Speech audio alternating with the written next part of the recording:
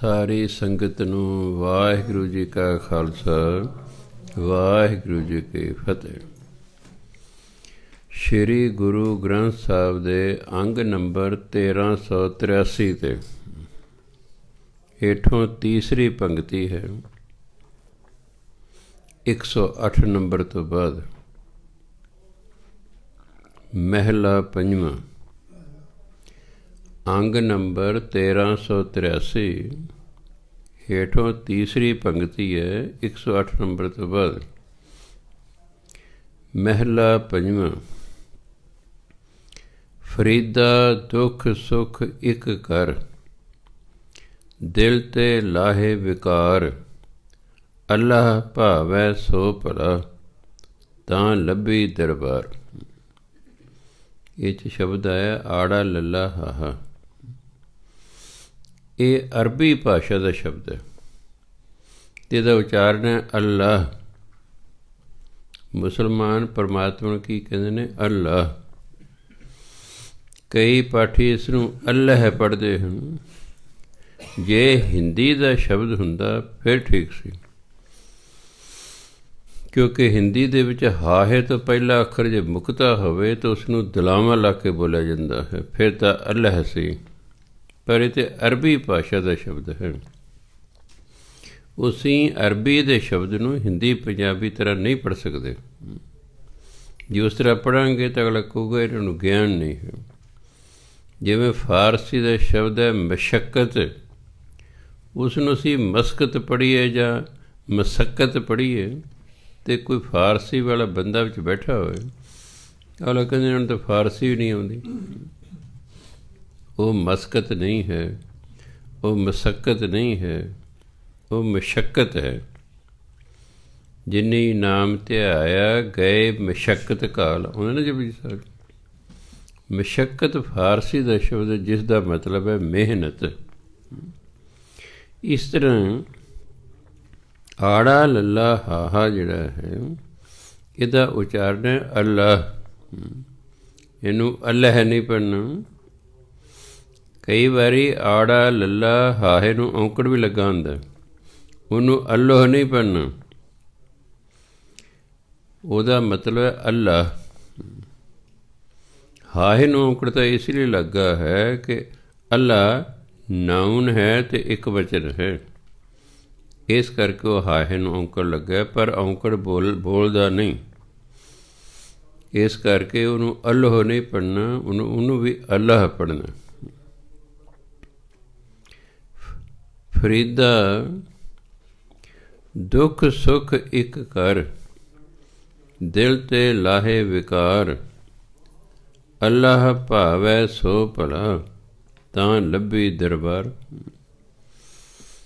ਕਹਿੰਦੇ, ਹੈ ਫਰੀਦ, ਤੂੰ ਦੁੱਖ ਤੇ ਸੁਖ ਨੂੰ ਇੱਕ ਸਾਰ ਸਮਝ। ਧਰਮ ਅਨੁਸਾਰ ਦੁੱਖ ਵੀ ਪਰਮਾਤਮਾ ਵੱਲੋਂ ਆ ਰਿਹਾ, ਸੁਖ ਵੀ ਪਰਮਾਤਮਾ ਵੱਲੋਂ ਆ ਰਿਹਾ। ਸੁਖ ਦੁਖ ਪ੍ਰਭ ਦੇਵਨ ਹਾਰ, ਅਵਰ ਤਿਆਗ ਤੂੰ ਤਿਸੈ ਚਤਰ। ਸੁਖ ਦੁਖ ਉਹਦੇ ਹੁਕਮ ਨਾਲ ਆਉਂਦੇ ਭਾਵੇਂ ਹੁੰਦੇ ਸਾਡੇ ਕਰਮਾਂ ਦੇ ਫਲ ਨੇ, ਪਰ ਸਾਡੇ ਕਰਮ ਲਿਖੇ ਪਰਮਾਤਮਾ ਨੇ। ਉਹ ਕਰਮਾਂ ਅਨੁਸਾਰ ਵੇਖ ਕੇ ਸਾਡੀ ਜ਼ਿੰਦਗੀ ਕੋਈ ਦੁੱਖ ਲਿਖਤੇ, ਕੁਝ ਸੁੱਖ ਲਿਖਤੇ। ਜਿਹੜੇ ਅਸੀਂ ਪੁੰਨ ਕਰਮ ਕੀਤੇ ਸਨ, ਉਹਨਾਂ ਬਦਲੇ ਪਰਮਾਤਮਾ ਨੇ ਸੁੱਖ ਲਿਖਤੇ ਜਿਹੜੇ ਸੀ ਮਾੜੇ ਕੰਮ ਕੀਤੇ ਸੀ ਪਾਪ ਕਰਮ ਕੀਤੇ, ਉਹਨਾਂ ਦੇ ਬਦਲੇ ਲਿਖਤੇ ਦੁੱਖ। ਜੇ ਪੁੰਨ ਕਰਮ ਬੜੀ ਲੰਬੀ ਦੇਰ ਤੱਕ ਕੀਤਾ ਗਿਆ, ਤਾਂ ਸੁੱਖ ਵੀ ਬਹੁਤ ਲੰਬਾ ਹੋਵੇਗਾ। ਇਸ ਤਰ੍ਹਾਂ ਜੇ ਦੁੱਖ ਬਹੁਤ ਦੇਰ ਤੱਕ ਸੰਸਾਰ ਨੂੰ ਦਿੱਤਾ, ਤਾਂ ਸਾਨੂੰ ਦੁੱਖ ਵੀ ਬਹੁਤ ਦੇਰ ਤੱਕ ਰਹੇਗਾ ਜਿਹੋ ਜਿਹਾ ਸਾਡਾ ਕਰਮ, ਉਹੇ ਜਿਹੇ ਅੱਗੇ ਫਿਰ ਸਾਡੀ ਕਿਸਮਤ ਬਣਦੀ ਹੈ ਦੁੱਖ ਸੁੱਖ ਮਿਲਦੇ ਨੇ ਸਾਨੂੰ। ਇਸ ਲਈ ਕਹਿੰਦੇ, ਹੈ ਫਰੀਦ, ਤੂੰ ਦੁੱਖ ਤੇ ਸੁੱਖ ਨੂੰ ਇੱਕ ਸਮਝ, ਇੱਕ ਸਾਰ ਸਮਝ। ਦੁੱਖ 'ਚ ਦੁਖੀ ਨਹੀਂ ਹੋਣਾ, ਸੁੱਖ 'ਚ ਨੱਚਣਾ ਟੱਪਣਾ ਨਹੀਂ ਹੈ। ਦੁੱਖ ਸੁੱਖ ਜ਼ਿੰਦਗੀ ਦੇ ਵਿੱਚ ਆਉਣੇ ਹੀ ਆਉਣੇ ਨੇ। ਤੁਸੀਂ ਕਿੰਨੇ ਵੀ ਚੰਗੇ ਇਨਸਾਨ ਬਣ ਲਓ, ਤੁਹਾਡੀ ਜ਼ਿੰਦਗੀ ਫਿਰ ਵੀ ਦੁੱਖ ਹੋਣਗੇ ਤੁਸੀਂ ਕਹਿੰਦੇ ਫਿਰ ਕਿਉਂ ਆਉਣਗੇ? ਚੰਗੇ ਤੇ ਤੁਸੀਂ ਹੁਣ ਚੰਗੇ ਤੇ ਤੁਸੀਂ ਹੁਣ ਹੋ। ਹੁਣ ਦੇ ਕਰਮਾਂ ਨਾਲ ਤੁਹਾਨੂੰ ਦੁੱਖ ਨਹੀਂ ਮਿਲੇਗਾ। ਹੁਣ ਜਿਹੜੇ ਪਿੱਛੇ, ਪਿਛਲੇ ਜਨਮਾਂ ਚ ਹੋ ਗਏ, ਉਹ ਉਹਨਾਂ ਕਾਰਨ ਦੁੱਖ ਹੁੰਦੇ ਨੇ। ਹਾਂ, ਹੁਣ ਅਸੀਂ ਠੀਕ ਹਾਂ, ਠੀਕ ਹੈ। ਅੱਗੇ ਤੋਂ ਜਿਹੜੇ ਕਰਮ ਬਣ ਗਏ ਉਹ ਵਧੀਆ ਕਰਮ ਬਣ ਗਏ ਇਸ ਲਈ ਦੁੱਖ ਅਤੇ ਸੁੱਖ ਨੂੰ ਇੱਕ ਸਾਰ ਸਮਝਣਾ ਵੀ ਇਹ ਜ਼ਿੰਦਗੀ ਦਾ ਹਿੱਸਾ ਨੇ ਇਹਨਾਂ ਨੇ ਵਾਰੀ-ਵਾਰੀ ਆਉਣਾ ਹੀ ਆਉਣਾ ਹੈ। ਦਿਲ ਤੇ ਲਾਹੇ ਵਿਕਾਰ ਵਿਕਾਰ ਹੁੰਦੇ ਬੁਰਾਈ ਤੇ ਦਿਲ ਤੋਂ ਬੁਰਾਈ ਛੱਡ ਦੇ ਬੁਰਾਈ ਹਮੇਸ਼ਾ ਮਨ ਚ ਹੁੰਦੀ ਹੈ, ਚੰਗਿਆਈ ਬੁਰਾਈ ਮਨ ਚ ਹੁੰਦੀ ਅਸੀਂ ਚੰਗੇ ਕਰਮ ਕਰ ਰਹੇ ਹਾਂ, ਮੰਦੇ ਕੰਮ ਕਰ ਰਹੇ ਸਰੀਰ ਨਹੀਂ ਕਰਾਂਦਾ ਇਹ ਮਨ ਕਰਾਂਦਾ ਸਾਡੇ ਤੋਂ ਜੋ ਵੀ ਕਰਮ ਕਰਵਾਉਂਦਾ ਸਾਡਾ ਮਨ ਕਰਵਾਉਂਦਾ। ਜੇ ਤੇ ਮਨ ਸਾਫ਼ ਸੁਥਰਾ ਹੈ, ਸਾਡੇ ਤੋਂ ਚੰਗੇ ਕੰਮ ਕਰਾਏਗਾ।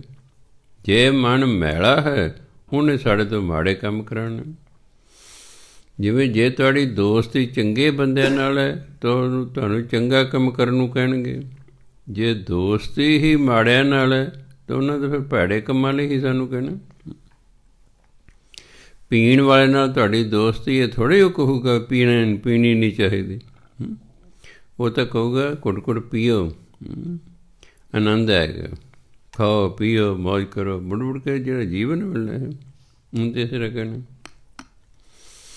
ਇਸ ਲਈ ਜੋ ਕੁਝ ਵੀ ਸਾਡੇ ਤੋਂ ਕਰਵਾਇਆ ਜਾ ਰਿਹਾ, ਸਾਡਾ ਮਨ ਕਰਵਾਉਂਦਾ ਹੈ। ਧਰਮ ਕਹਿੰਦਾ ਸਰੀਰ ਤੇ ਗੱਡੀ ਹੈ, ਮਨ ਡਰਾਈਵਰ ਹੈ।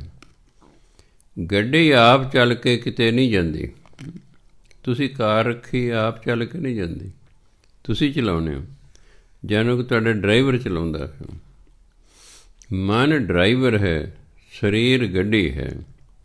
ਮਨ ਨੇ ਤੁਹਾਨੂੰ ਕਿਹਾ, ਚਲੋ ਸਾਸੰਗ ਭਵਨ ਚੱਲੀਏ, ਉੱਥੇ ਬੈਠ ਕੇ ਕਥਾ ਵਾਰਤਾ ਸੁਣਾਂਗੇ। ਕਿਸੇ ਦੇ ਮਨ ਨੇ ਕਿਹਾ, ਜਦੋਂ ਇੱਥੇ ਕਥਾ ਵਰਤ ਆਪਾਂ ਨੂੰ ਸੁਣ ਰਹੀ ਹੈ, ਦਿਸ ਰਹੀ ਘਰ 'ਚ ਤੇ ਕੀ ਲੋੜ ਹੈ ਠੰਡ 'ਚ ਚੱਲ ਕੇ ਜਾਣ ਦੀ? ਉਹ ਉੱਥੇ ਬੈਠੇ ਨੇ।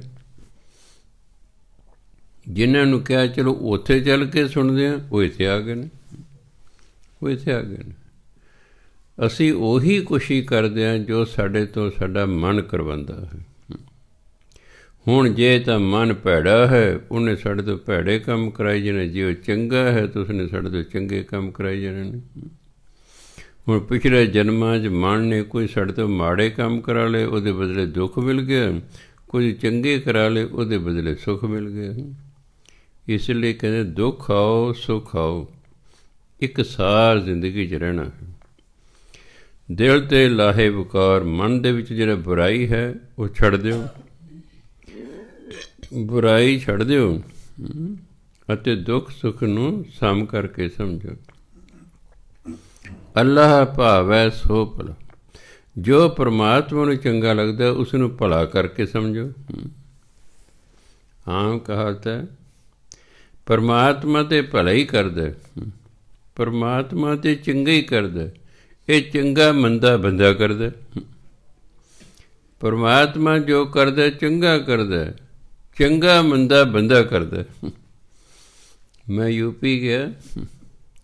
ਸਿਸਟਰ ਦਾ ਪੋਤਰਾ ਸੀ ਛੋਟਾ ਜਿਹਾ, ਦੂਜੀ ਤੀਜੀ ਪੜਦਾ ਉਹ ਕਹਿ ਰਿਹਾ, ਰੱਬ ਤੇ ਜੋ ਕਰਦਾ, ਚੰਗਾ ਕਰਦਾ ਇਹ ਚੰਗਾ ਮੰਦਾ ਬੰਦਾ ਕਰਦਾ ਮੈਂ ਗੱਲ ਤਾਂ ਜਵਾਗ ਦੀ ਬੜੀ ਵਧੀਆ ਸੋ ਇਸ ਲਈ ਅੱਲਾਹ ਭਾਵੈ ਸੋ ਭਲਾ। ਜੋ ਪਰਮਾਤਮਾ ਨੂੰ ਚੰਗਾ ਲੱਗਦਾ, ਉਸ ਨੂੰ ਭਲਾ ਕਰਕੇ ਸਮਝਣਾ। ਤਾਂ ਲੱਭੀ ਦਰਬਾਰ, ਤਾਂ ਤੈਨੂੰ ਪਰਮਾਤਮਾ ਦਾ ਦਰ ਪ੍ਰਾਪਤ ਹੋਵੇਗਾ। ਤਾਂ ਤੈਨੂੰ ਸੱਚਖੰਡ ਪ੍ਰਾਪਤ ਹੋਵੇਗਾ। ਤਾਂ ਤੈਨੂੰ ਬੈਕੁੰਠ ਧਾਮ ਪ੍ਰਾਪਤ ਹੋਵੇਗਾ। ਜੇ ਤੂੰ ਇਹ ਦੋ ਤਿੰਨ ਗੱਲਾਂ ਕਰ। ਦੁੱਖ ਸੁੱਖ 'ਚ ਇੱਕ ਸਾਰਣ ਕੋਈ ਗਿਲਾ ਨਹੀਂ ਕਰਨਾ। ਰੱਬ ਨੂੰ ਇਹ ਨਹੀਂ ਕਹਿਣਾ, ਮੈਂ ਤਾਂ ਭਜਨ ਬੰਦਗੀ ਕਰਦਾ ਸੀ, ਮੈਂ ਤੇ ਪਾਠ ਕਰਦਾ ਸੀ, ਮੈਂ ਤੇ ਅੰਮ੍ਰਿਤ ਲੋੜਦਾ ਸੀ, ਮੈਂ ਤੇ ਗੁਰਦੁਆਰੇ ਜਾਂਦਾ ਸੀ, ਮੈਂ ਤੇ ਸੇਵਾ ਕਰਦਾ ਸੀ। ਤੂੰ ਮੈਨੂੰ ਕੋਈ ਦੁੱਖ ਦਿੱਤੇ ਨੇ? ਉਹ ਕਹਿੰਦਾ, ਕਮਲਿਆ, ਇਹ ਹੁਣ ਦੇ ਨਹੀਂ ਹੈਗੇ। ਇਹ ਤਾਂ ਤੂੰ ਜੋ ਪਿਛਲੇ ਕੀਤੇ ਮਾੜੇ ਕੰਮ, ਉਹਨਾਂ ਕਾਰਨ ਦੁੱਖ ਆ ਰਹੇ ਨੇ। ਇਸ ਲਈ ਦੁੱਖ ਸੁੱਖ ਦੇ ਵਿੱਚ ਇੱਕ ਸਾਰ ਰਹਿਣਾ। ਦੁੱਖ ਸੁੱਖ ਆਉਣੇ ਹੀ ਆਉਣੇ ਨੇ। ਆਪਾਂ ਗੁਰੂ ਅਰਜਨ ਦੇਵ ਮਹਾਰਾਜ ਤੋਂ ਵਧੀਆ ਤੇ ਨਹੀਂ ਨਾ ਹੋ ਸਕਦੇ। ਅੰਤਲੇ ਸਮੇਂ ਜ਼ਿੰਦਗੀ ਦੇ ਕਿੱਡਾ ਵੱਡਾ ਉਹਨਾਂ ਨੂੰ ਦੁੱਖ ਸਹਿਣਾ ਪਿਆ। ਨੌਵੇਂ ਪਾਸ਼ਾ ਨੂੰ ਸ਼ਹੀਦ ਹੋਣਾ ਪਿਆ। ਹੋਰ ਕਿੰਨੇ ਆਪਣੇ ਸ਼ਹੀਦ ਹੋਏ ਨੇ। ਕਿੰਨੇ ਕਿੰਨੇ ਦੁੱਖ ਉਹਨਾਂ ਨੇ ਸਹੇ। ਬੰਦ ਬੰਦ ਕਟਵਾਉਣਾ ਕੋਈ ਖਰਲਾ ਜੀ ਦਾ ਬਾੜਾ ਥੋੜਾ ਹੀ ਹੈ। ਇਸ ਲਈ ਦੁੱਖ ਤੁਸੀਂ ਚੰਗੇ ਹੋਵੋ, ਮੰਦੇ ਹੋਵੋ। ਦੁੱਖ ਸੁੱਖ ਤੇ ਜ਼ਿੰਦਗੀ ਚ ਨਹੀਂ ਆਉਣਗੇ। ਇਸ ਲਈ ਢੇਰੀ ਨਹੀਂ ਢਾ ਬੈਣੀ ਹੌਸਲਾ ਨਹੀਂ ਛੱਡ ਬੈਣਾ ਆ ਜਿਹੜਾ ਡਿਪਰੈਸ਼ਨ ਹੋ ਜਾਂਦਾ, ਹੋਰ ਕੀ ਹੈ ਉਹ ਹੌਸਲਾ ਛੱਡ ਬੈਠੇ ਨੇ ਬਸ। ਉਹਨਾਂ ਦੀ ਸੋਚ 네ਗੇਟਿਵ ਹੋ ਗਈ ਹੈ। ਟੈਂਦੀਆਂ ਕਲਾਂ ਨੂੰ ਹੋ ਗਿਆ ਹੁਣ ਉਹਨੂੰ ਚੜ੍ਹਦੀਆਂ ਕਲਾਂ 'ਚ ਰੱਖਣਾ ਪੈਂਦਾ ਵੀ ਉਹਦੇ ਨਾਲ ਗੱਲਾਂ ਹੀ ਇਸ ਤਰ੍ਹਾਂ ਦੀ ਕਰੋ, ਚੜ੍ਹਦੀਆਂ ਕਲਾਂ ਵਾਲੇ। ਫਿਰ ਜਿਹੜਾ ਹੈ, ਉਹਨੂੰ ਬਾਣੀ ਵਾਲੇ ਪਾਸੇ, ਨਾਮ ਵਾਲੇ ਪਾਸੇ ਲਓ, ਕਿਉਂਕਿ ਨਾਮ ਬਾਣੀ ਨੇ ਫਿਰ ਉਸ ਨੂੰ ਚੜ੍ਹਦੀਆਂ ਕਲਾਂ 'ਚ ਕਰਨਾ ਹੈ। ਕਹਿੰਦੇ, ਇੱਕ ਸਾਰ ਰਹਿਣਾ ਜ਼ਿੰਦਗੀ 'ਚ। ਮਨ ਤੋਂ ਜਿਹੜੀਆਂ ਬੁਰਾਈਆਂ ਨੂੰ ਤਿਆਗ ਦੇਣੀਆਂ ਨੇ। ਪਰਮਾਤਮਾ ਜੋ ਕਰਦਾ, ਉਹਨੂੰ ਭਲਾ ਸਮਝਣਾ ਤਾਂ ਤੈਨੂੰ ਪਰਮਾਤਮਾ ਦਾ ਦਰ ਪ੍ਰਾਪਤ ਹੋਵੇਗਾ। ਅੱਗੇ ਕਹਿੰਦੇ, ਮਹਿਲਾ ਪੰਜਵਾਂ ਫਰੀਦਾ ਦੁਣੀ ਵਜਾਈ ਵੱਜਦੀ, ਤੂੰ ਪੀ ਵਜਹਿ ਨਾਲ, ਕਿਉਂਕਿ ਹੁਣ ਤੂੰ ਆ ਗਿਆ ਹੈ। ਮੈਂ ਆ ਜੇ ਹੂੰ ਆ ਜੇ, ਤੂੰ ਆ ਜੇ, ਜਾਂ ਤੂੰ ਦੀ ਭਾਵਨ, ਮੈਂ ਤੂੰ ਦੀ ਭਾਵਨਾ ਹੋਵੇ, ਤਾਂ ਅੱਗੇ ਜਿਹੜੀ ਕਿਰਿਆ ਹੁੰਦੀ ਹੈ, ਉਹ ਨਕਰੇ ਬੁੱਲ ਜਾਂਦੀ, ਵਜਹਿ ਨਹੀਂ ਪੜਨਾ ਇਸ ਨੂੰ। ਤੂੰ ਆ ਗਿਆ ਜਿਵੇਂ ਤੂੰ ਜਾਂਦਾ ਹੈ ਆਪਾਂ ਕਹਿੰਦੇ, ਤੂੰ ਜਾਂਦਾ ਹੈ ਨਹੀਂ ਕਹਿੰਦੇ। ਤੂੰ ਜਾਂਦਾ ਹੈ, ਤੂੰ ਪੜਦਾ ਹੈ, ਤੂੰ ਰੌਲਾ ਪਾਉਂਦਾ ਹੈ। ਇਸੇ ਤਰ੍ਹਾਂ ਹੀ ਤੂੰ ਪੀ ਵਜਹ ਨਾਲ ਫਰੀਦਾ ਦੁਨੀ ਵਜਾਈ ਵੱਜਦੀ, ਤੂੰ ਪੀ ਵਜਹ ਨਾਲ ਸੋਈ ਜੀਉ ਨ ਵੱਜਦਾ, ਜਿਸ ਅੱਲਾਹ ਕਰਦਾ ਸਾਰ। ਆ ਦੇਖ ਤੇ ਹਾਏ ਨੂੰ ਕੜਾ ਗਿਆ ਇਤੇ ਅੱਲਾਹ ਨਾਮ ਹੈ ਇਸ ਲਈ ਹਾਹੇ ਨੂੰ ਕਰ ਲਾਇਆ ਹੋਇਆ। ਇੱਕ ਵਚਨ ਹੈ, ਜਿਹੜਾ ਸ਼ਬਦ ਇੱਕ ਵਚਨ ਹੋਵੇ ਅਤੇ ਪੁਲਿੰਗ ਹੋਵੇ, ਉੱਥੇ ਹਾਹੇ ਨੂੰ ਔਂਕੜ ਲੱਗਾ ਹੁੰਦਾ ਹੈ। ਉਹ ਬੋਲਣ ਲਈ ਨਹੀਂ ਹੁੰਦਾ, ਉਹ ਅਰਥ ਕਰਨ ਲਈ ਹੁੰਦਾ ਹੈ। ਸੋਈ ਜੀਉ ਨ ਵਜਦਾ ਜਿਸ ਅੱਲਾਹ ਕਰਦਾ ਸਾਰ। ਫਰੀਦਾ ਦੁਨੀ ਵਜਾਈ ਵਜਦੀ। ਦੁਨੀ ਵਜਾਈ ਵਜਦੇ ਮਤਲਬ ਦੁਨੀਆ ਰੀਸ ਕਰਦੀ ਇੱਕ ਦੂਜੇ ਦੀ। ਆਮ ਬੰਦਨ ਆਦਤ ਰੀਸ ਕਰਦਾ। ਪੁਰਾਣਾ ਇਸ ਤਰ੍ਹਾਂ ਕਰ ਆਪਾਂ ਹੀ ਕਰਨ। ਜਿਵੇਂ ਕਿਸੇ ਨੇ ਲੜਕੇ, ਲੜਕੀ ਸ਼ਾਦੀ ਕਰਨੀ ਹੈ, ਪਹਿਲਾਂ ਖੰਡ ਪਾਠ ਕਰਾ ਲਿਆ। ਦੂਜਾ ਵੀ ਉਹਨੂੰ ਵੇਖ ਕੇ ਕਰਾਂਦਾ ਹੈ। ਸੁਣਦਾ ਸੁਣਦਾ ਕੋਈ ਨਹੀਂ, ਰੌਲਾ ਰੌਲਾ ਪਾਈ ਜਾਂਦੇ ਨੇ, ਪਰ ਉਹ ਫਾਰਮੈਲਿਟੀ ਕਰਦੇ ਨੇ। ਉਹ ਦੇਖੋ ਦੇਖੀ ਜਿਹੜੇ ਕੰਮ ਕੀਤੇ ਜਾਂਦੇ ਨੇ ਜਿਸ ਰੁਚੀ ਤੇ ਹੈ ਨਹੀਂ। ਪਰ ਰੀਸ ਕੀਤੀ ਜਾਂਦੀ ਹੈ, ਉਹਦਾ ਫਲ ਕੋਈ ਬਹੁਤਾ ਨਹੀਂ ਮਿਲਿਆ ਕਰਦਾ। ਫਿਰਦਾ ਦੁਣੀ ਵਜਾਈ ਵੱਜਦੀ। ਇਹ ਜਿਹੜੇ ਸੰਸਾਰ ਹੈ, ਇਹ ਤੇ ਰੀਸ ਕਰਦਾ ਇੱਕ ਦੂਜੇ ਦੀ। ਤੂੰ ਵੀ ਵਜੇ ਨਾਲ, ਤੂੰ ਵੀ ਉਹਨਾਂ ਦੀ ਰੀਸ ਕਰਦਾ। ਅਗਰ ਭਗਤੀ ਕਰਨ ਵਾਲਾ ਵੀ ਸੰਸਾਰੀਆਂ ਦੀ ਰੀਸ ਕਰੇਗਾ, ਫਿਰ ਭਗਤ ਕਦਾ ਹੋਇਆ? ਭਗਤਾਂ ਤੈ ਸੰਸਾਰੀਆਂ ਜੋੜ ਕਦੇ ਨਾ ਆਇਆ। ਭਗਤਾਂ ਤੇ ਸੰਸਾਰੀਆਂ ਦਾ ਤਾਂ ਸੁਭਾਅ ਹੀ ਨਹੀਂ ਮਿਲਦਾ। ਆਦਤਾਂ ਹੀ ਨਹੀਂ ਮਿਲਦੀਆਂ। ਵਿਚਾਰ ਹੀ ਨਹੀਂ ਮਿਲਦਾ। ਖਾਣ ਪੀਣ ਨਹੀਂ ਮਿਲਦਾ। ਪਹਿਨਣਾ ਨਹੀਂ ਮਿਲਦਾ। ਭਗਤਾਂ ਦੀ ਖੁਰਾਕ ਹੋਰ ਹੈ, ਸੰਸਾਰੀ ਦੀ ਹੋਰ ਹੈ, ਭਗਤਾਂ ਦੇ ਕੱਪੜੇ ਹੋਰ ਨੇ, ਸੰਸਾਰੀਆਂ ਦੇ ਹੋਰ ਨੇ, ਭਗਤਾਂ ਦੀ ਬੋਲਚਾਲ ਹੋਰ ਹੈ, ਸੰਸਾਰੀਆਂ ਦੀ ਹੋਰ ਹੈ। ਭਗਤਾਂ ਦੇ ਵਿਚਾਰ ਹੋਰ ਨੇ, ਸੰਸਾਰੀਆਂ ਦੇ ਵਿਚਾਰ ਹੋਰ ਹੈ। ਮੇਲ ਹੀ ਕੋਈ ਨਹੀਂ। ਖੇਲ ਇਸ ਲਈ ਕਹਿੰਦੇ, ਤੂੰ ਕਹਿੰਦੇ, ਹੈ ਆਪਣੇ ਆਪ ਨੂੰ ਕਹਿੰਦੇ ਭਗਤ, ਤੇ ਤੂੰ ਸੰਸਾਰ ਦੀ ਰੀਸ ਕਰ ਰਿਹਾ ਹੈ। ਕਰ ਤੂੰ ਉਸੇ ਤਰ੍ਹਾਂ ਨੇ ਜਿਵੇਂ ਸੰਸਾਰ ਕਰਦਾ ਸਿੱਖ ਧਰਮ ਕਹਿੰਦਾ ਹੈ ਕਿ ਜਿਹੜਾ ਤੁਸੀਂ ਆ ਸ਼ਰਾਧ ਕਰਦੇ ਨੇ ਹਿੰਦੂ ਵੀਰ, ਉਹ ਬੜੀ ਖੁਸ਼ੀ ਨਾਲ ਕਰੀ ਜਾਂ ਸਾਨੂੰ ਕੋਈ ਇਤਰਾਜ਼ ਨਹੀਂ। ਪਰ ਸਿੱਖ ਧਰਮ ਕਹਿੰਦਾ ਹੈ, ਬਈ ਕਿਸੇ ਨੂੰ ਖਵਾਇਆ ਹੋਇਆ ਭੋਜਨ ਤੁਹਾਡੇ ਪਿਤਰਾਂ ਤੱਕ ਨਹੀਂ ਪਹੁੰਚਦਾ। ਪਰਮਾਤਮਾ ਦੇ ਨਾਮ ਬਾਣੀ ਤੋਂ ਬਿਨਾ ਪਿਤਰਾਂ ਤੱਕ ਹੋਰ ਕੋਈ ਚੀਜ਼ ਨਹੀਂ ਪਹੁੰਚਦੀ। ਪਰ ਬਹੁਤ ਸਾਰੇ ਸਿੱਖ ਨੇ, ਉਹ ਪੰਡਤਾਂ ਨੂੰ ਨਹੀਂ ਸੱਦੇ ਪੰਜ ਭਾਈਆਂ ਨੂੰ ਸੱਦ ਕੇ ਚਗਾ ਦੇਣ ਸ਼ਰਦ ਸ਼ਰਦ ਕਰਦੇ ਨੇ। ਰੀਸ ਕਰਨ ਵੀ ਉਹ ਕਰਦਾ ਆਪਾਂ ਵੀ ਕਰੋ। ਹਾਲਾਂਕਿ ਬਾਣੀ ਵਾਰੀ ਵਾਰੀ ਕਹਿੰਦੇ ਤੁਹਾਡੀ ਰੋਟੀਆਂ ਉੱਥੇ ਨਹੀਂ ਜਾਣੀਆਂ ਉਹਨਾਂ ਕੋਲੇ। ਕਈ ਮਰਨ ਤੋਂ ਬਾਅਦ ਮੰਜਾ ਦਿੰਦੇ ਨੇ, ਬਿਸਤਰਾ ਦਿੰਦੇ ਨੇ, ਜੁੱਤੇ ਵੀ ਦਿੰਦੇ ਨੇ, ਕੱਪੜੇ ਵੀ ਦਿੰਦੇ ਨੇ, ਉਹ ਤਾਂ ਸਾਡੇ ਵਰਗਿਆਂ ਦੇ ਕੰਮ ਆਉਂਦੇ ਨੇ। ਅਸੀਂ ਗਰੀਬਾਂ ਨੂੰ ਦੇ ਦੇਣੇ ਸਾਨੂੰ ਤੇ ਪਤਾ ਹੈ ਵੀ ਨਾ ਮਰੇ ਤੱਕ ਮੰਜਾ ਜਾਣੇ, ਨਾ ਬਿਸਤਰਾ ਜਾਣੇ, ਨਾ ਜੁੱਤੇ ਜਾਣੇ ਨੇ, ਨਾ ਕੱਪੜੇ ਜਾਣੇ ਨੇ। ਉਹ ਹਿੰਦੂ ਵੀਰਾਂ ਨੂੰ ਵੇਖ ਵੇਖ ਕੇ ਸਿੱਖ ਵੀ ਇਸ ਤਰ੍ਹਾਂ ਭੇਜਦੇ ਨੇ ਗੁਰਦੁਆਰੇ ਵੀ ਉਹਨਾਂ ਨੂੰ ਕੁਝ ਨਹੀਂ ਕਹਿੰਦੇ ਜਾਂ ਠੀਕ ਆਉਣ ਦਿਓ। ਹੂੰ। ਭਾਈ ਸੋ ਜੇ ਠੀਕ ਹੈ ਮੰਜਾ ਮਿਲ ਗਿਆ, ਘਰ ਭੇਜ ਦਿਆਂਗੇ, ਬਿਸਤਰਾ ਮਿਲ ਗਿਆ, ਮੌਜ ਕਰਾਂ ਕੱਪੜੇ ਮਿਲ ਗਏ, ਜੁੱਤੀ ਮਿਲ ਗਈ, ਜ਼ਰੂਰੀ ਜ਼ਰੂਰੀ ਬਾਜ਼ਾਰੋਂ ਖਰੀਦਣੀ ਹੈ। ਇਹਨਾਂ 'ਚ ਕੋਈ ਵੀ ਚੀਜ਼ ਮਰੇ ਬੰਦੇ ਤੱਕ ਨਹੀਂ ਜਾਂਦੀ। ਇਹ ਤੇ ਇੱਥੇ ਰਹਿ ਜਾਣੀ ਫਿਰ ਕਈ ਬੰਦੇ ਨਾ ਫਾਰਮੈਲਿਟੀ ਕਰਦੇ ਖਰਚ ਨਾ ਰਜਾਈ ਤਲਾਈ ਸਿਉਂਦੇ ਨੇ। ਬਾਪੂ ਜੀ ਕਹਿੰਦੇ ਵੀ ਜੇ ਤੁਹਾਡੀ ਰਜਾਈ ਉੱਪਰ ਨੂੰ ਜਾਵੇਗੀ, ਸਿਉਂਤੀ ਤਾਂ ਹੈ ਨਹੀਂ, ਰੂਹ ਤੇ ਰਾਹ 'ਚ ਡਿੱਗ ਪੈਣੇ। ਮੰਨ ਲਓ ਤੁਹਾਡੀ ਰਜਾਈ ਜਾ ਰਹੀ ਉੱਪਰ ਨੂੰ, ਤੁਹਾਡੇ ਵਿਸ਼ਵਾਸ ਅਨੁਸਾਰ ਮੰਜਾ ਵੀ ਜਾ ਰਿਹਾ। ਕਿਸੇ ਘਰ ਨੇ ਮੰਜਾ ਦਿੱਤਾ ਖੁੱਲਾ ਖੁੱਲਾ ਬੁਣ ਕੇ, ਵੀ ਥੋੜੇ ਜਿਹੇ ਨਾਲ ਸਰਜੇ ਉਹ ਕਹਿੰਦਾ ਤੁਹਾਡਾ ਬਾਪੂ ਦੀ ਲੱਤਾਂ ਦੇ ਵਿੱਚੋਂ ਵਗ ਜਾਣੀਆਂ ਨੇ। ਉਹ ਕਹਿੰਦਾ, ਦੁਰ ਫਿੱਟੇ ਮੇਰੇ ਮੁੰਡਿਆ ਜੇ ਮੰਜਾ ਇਹੋ ਜੇ ਭੇਜੇ। ਤੇ ਆ ਬਿਸਤਰਾ ਜਿਹੜਾ ਜਦੋਂ ਉੱਪਰ ਤੱਕ ਜਾਊ ਨਾ, ਆਕਾਸ਼ ਹਵਾ ਵਗਣੀ ਹੈ, ਸਾਰਾ ਰੂਹ ਰਾਜ ਡਿੱਪਣ। ਜੇ ਦੇਣਾ ਕੋਈ ਸਿਉਂ ਕੇ ਦਿਓ, ਕੋਈ ਚੱਜ ਦਾ ਦਿਓ ਜੀ ਜੇ ਤੁਸੀਂ ਵਿਸ਼ਵਾਸ ਹੀ ਰੱਖਦੇ ਜਾਂਦੇ। ਕਹਿੰਦੇ, ਸਿੱਖ ਧਰਮ ਇਹਨਾਂ ਗੱਲਾਂ ਨੂੰ ਨਹੀਂ ਮੰਨਦਾ। ਵੀ ਕੁਝ ਵੀ ਨਹੀਂ ਜਾਂਦਾ। ਅਗਰ ਤੁਸੀਂ ਉਹਦੇ ਭਲੇ ਲਈ ਕੁਝ ਕਰਨਾ ਹੈ ਤੇ ਇਹ ਬਾਣੀ ਹੈ, ਇਹ ਪੜੋ ਬਾਣੀ ਕਿਉਂਕਿ ਸੱਚਖੰਡ ਤੋਂ ਆਈ ਹੈ। ਜਿੱਥੋਂ ਕੋਈ ਚੀਜ਼ ਆਈ ਹੈ, ਉੱਥੋਂ ਤੱਕ ਉਹ ਜਾ ਸਕਦੀ ਹੈ। ਧਿਆਨ ਸੱਚਖੰਡ ਸਭ ਤੋਂ ਉੱਪਰ ਹੈ, ਬਾਕੀ ਸਭ ਕੁਝ ਉਸ ਤੋਂ ਨੀਵਾ ਹੈ। ਜਦੋਂ ਕਦੇ ਆਪ ਜੀ ਦੀ ਸੁਰਤ ਜੁੜੇਗੀ ਤੁਹਾਨੂੰ ਐ ਮਹਿਸੂਸ ਹੋਏਗਾ, ਚੌਂਕੜੀ ਮਾਰੀ ਅੱਖਾਂ ਬੰਦ ਨੇ, ਤੁਸੀਂ ਉੱਡਣਾ ਸ਼ੁਰੂ ਕਰਤਾ ਹੈ। ਉੱਪਰ ਨੂੰ ਜਾ ਰਹੇ ਹੋ, ਉੱਪਰ ਨੂੰ ਜਾਈ ਜਾ ਰਹੇ ਹੋ, ਜਾਈ ਜਾ ਰਹੇ ਹੋ, ਜਾਈ ਜਾ ਰਹੇ ਹੋ। ਤੁਸੀਂ ਚੰਨ ਦੇ ਕੋਲੋਂ ਲੰਘ ਗਏ ਹੋ। ਫਿਰ ਹੋਰ ਉੱਪਰ ਜਾ ਰਹੇ ਹੋ, ਹੋਰ ਉੱਪਰ ਜਾ ਰਹੇ ਹੋ, ਸੂਰਜ ਕੋਲੋਂ ਲੰਘ ਗਏ ਹੋ, ਹੋਰ ਉੱਪਰ ਜਾ ਰਹੇ ਹੋ, ਹੋਰ ਤਾਰਿਆਂ ਕੋਲੋਂ ਲੰਘ ਗਏ ਹੋ। ਫਿਰ ਉਦੋਂ ਅੱਗੇ ਜਿਹੜੀਆਂ 14 ਪੁਰੀਆਂ ਨੇ, ਬ੍ਰਹਮਪੁਰੀ, ਸ਼ਿਵਪੁਰੀ, ਵਿਸ਼ਨੂਪੁਰੀ, ਫਲਾਣੀਪੁਰੀ, ਸਭ ਇਹਨਾਂ ਲੰਘ ਜਾਓਗੇ। ਫਿਰ ਜੇ ਸਾਰੀਆਂ ਪੁਰੀਆਂ ਲੰਘ ਜਾਓ, ਕਿੰਨੀ ਜਗ੍ਹਾ ਖਾਲੀ ਆਵੇਗੀ, ਬਿਲਕੁਲ ਉਹ ਖਾਲੀ ਵੀ ਲੰਘੀ ਜਾਓਗੇ। ਫਿਰ ਤੁਹਾਨੂੰ ਇੱਕ ਬੜਾ ਦੂਰੋਂ ਚਮਕਦਾ ਹੋਇਆ ਸ਼ਹਿਰ ਵਿਖਾਈ ਦੇਵੇਗਾ।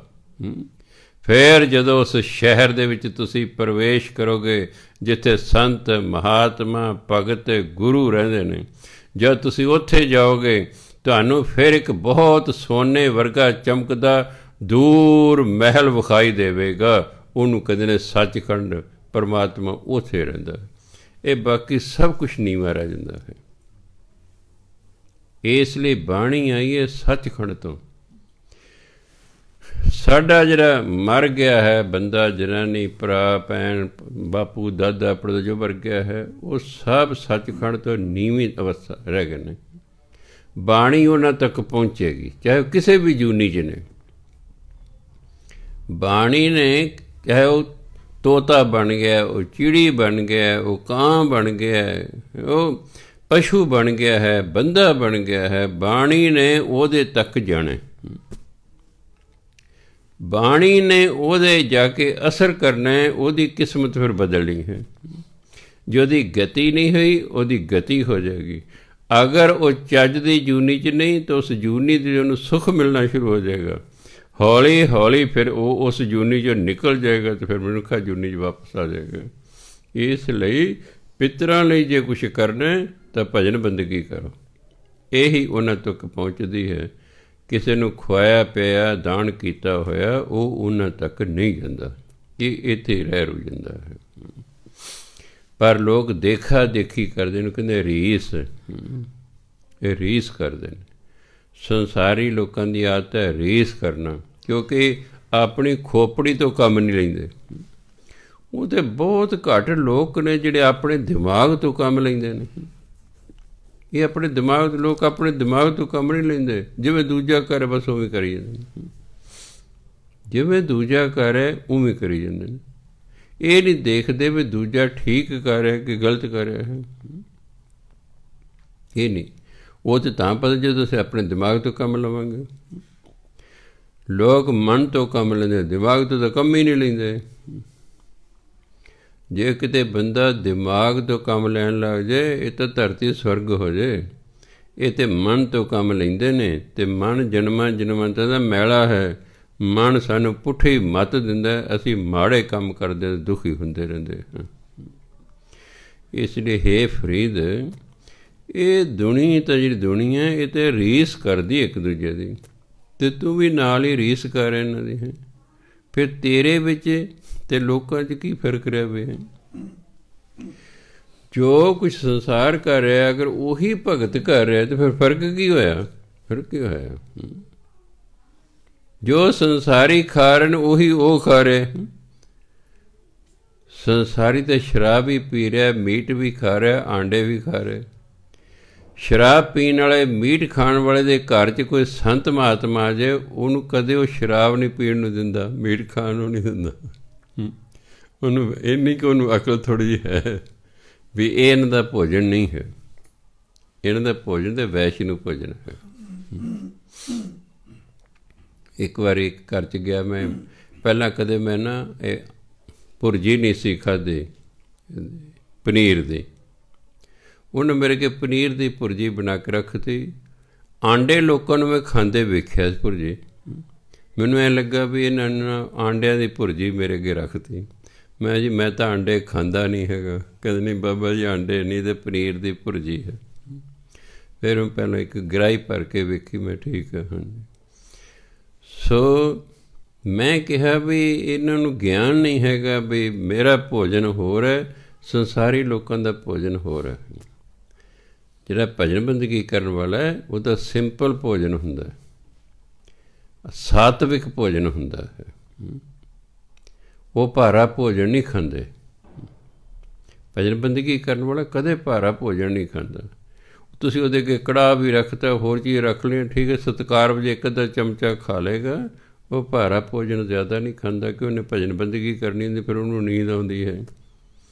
ਉਹ ਥੋੜਾ ਖਾਂਦਾ ਅਤੇ ਹੌਲਾ ਭੋਜਨ ਖਾਂਦਾ ਸੋ ਇਸ ਲਈ ਜਿਹੜਾ ਭਜਨ ਬੰਦਗੀ ਕਰਨ ਵਾਲਾ ਬੰਦਾ ਹੈ, ਉਹਦਾ ਜੀਵਨ ਸੰਸਾਰੀ ਲੋਕਾਂ ਨਾਲੋਂ ਵੱਖਰਾ ਹੁੰਦਾ।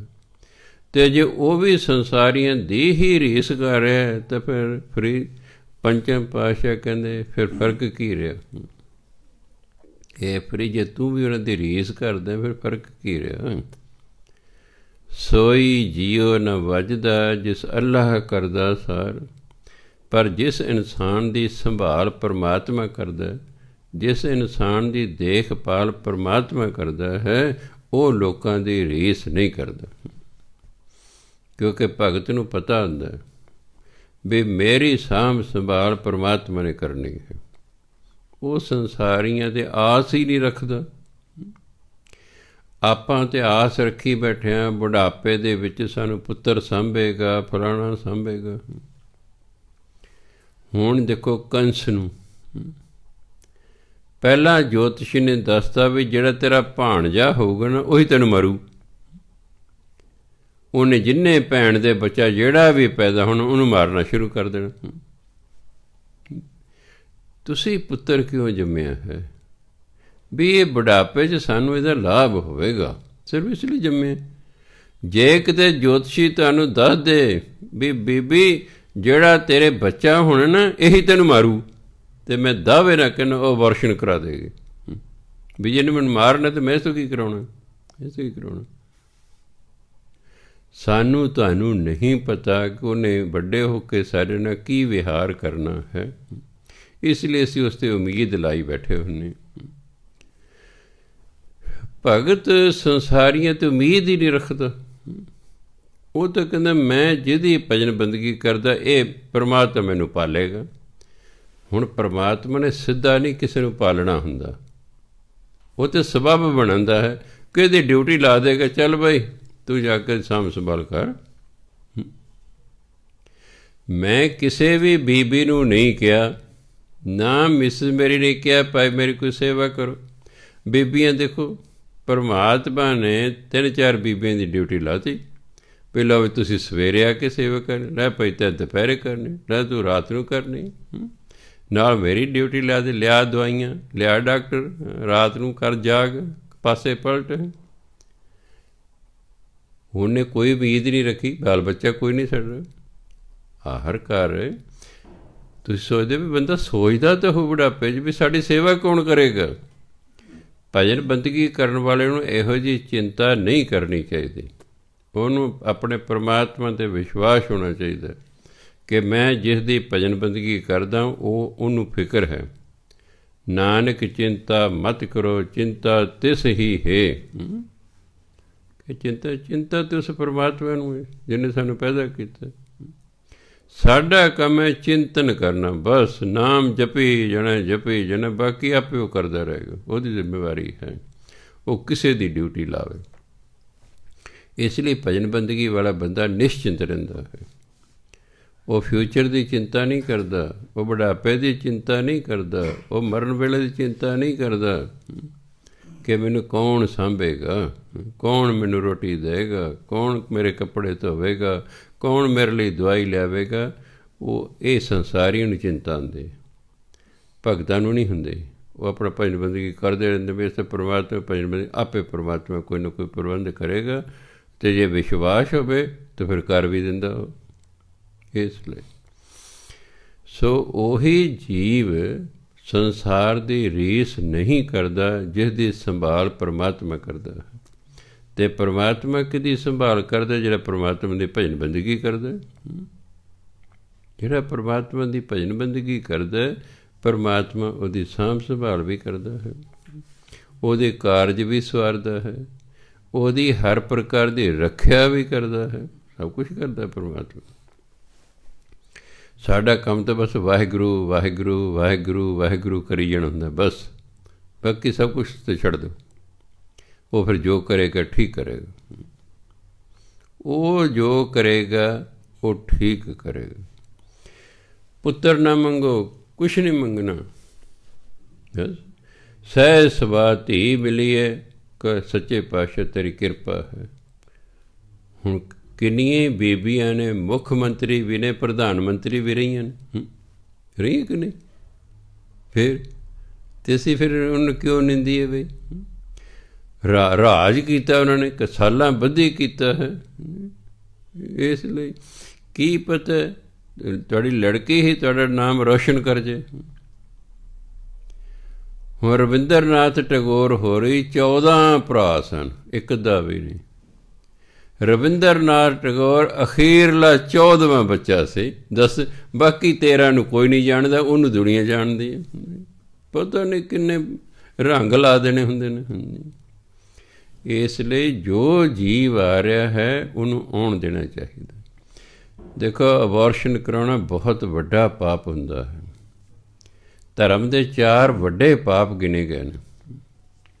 ਗਾਂ ਨੂੰ ਮਾਰਨਾ, ਭਜਨ ਬੰਦਗੀ ਕਰਨ ਵਾਲੇ ਬੰਦੇ ਨੂੰ ਮਾਰਨਾ, ਲੜਕੀ ਨੂੰ ਮਾਰਨਾ ਅਤੇ ਵੇਸਵਾ ਦੇ ਘਰ ਦਾ ਖਾਣਾ, ਇਹ ਚਾਰ ਬਹੁਤ ਵੱਡੇ ਪਾਪ ਗਿਨੇ ਗਏ ਨੇ ਕਿ ਕਿ ਜਨਮ ਨੀਂਦ ਦਾ ਉਤਰਦਾ ਹੈ।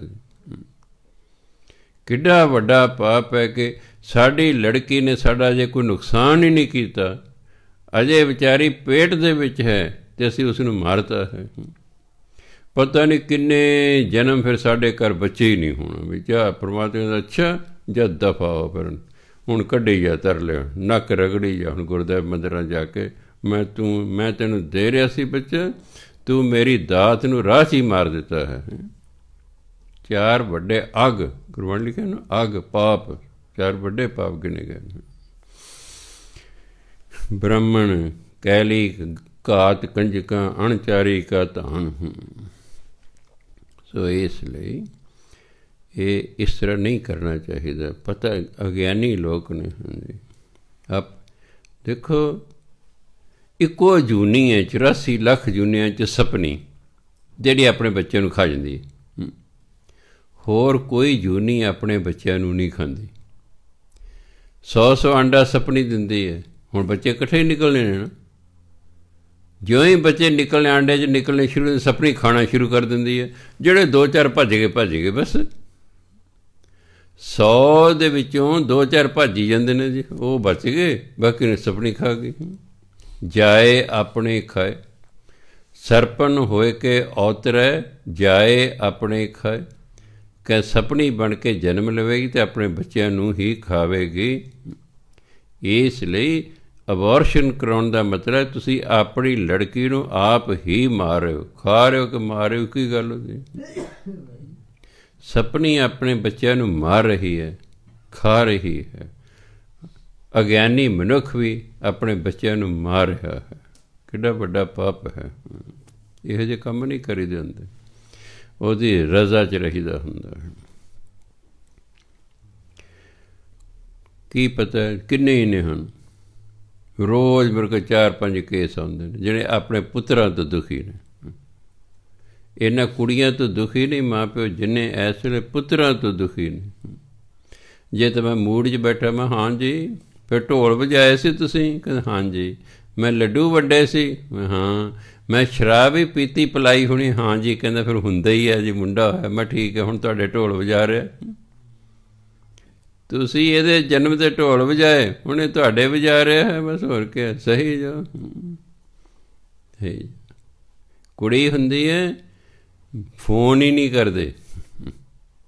ਮੁੰਡਾ ਹੋ ਜੇ।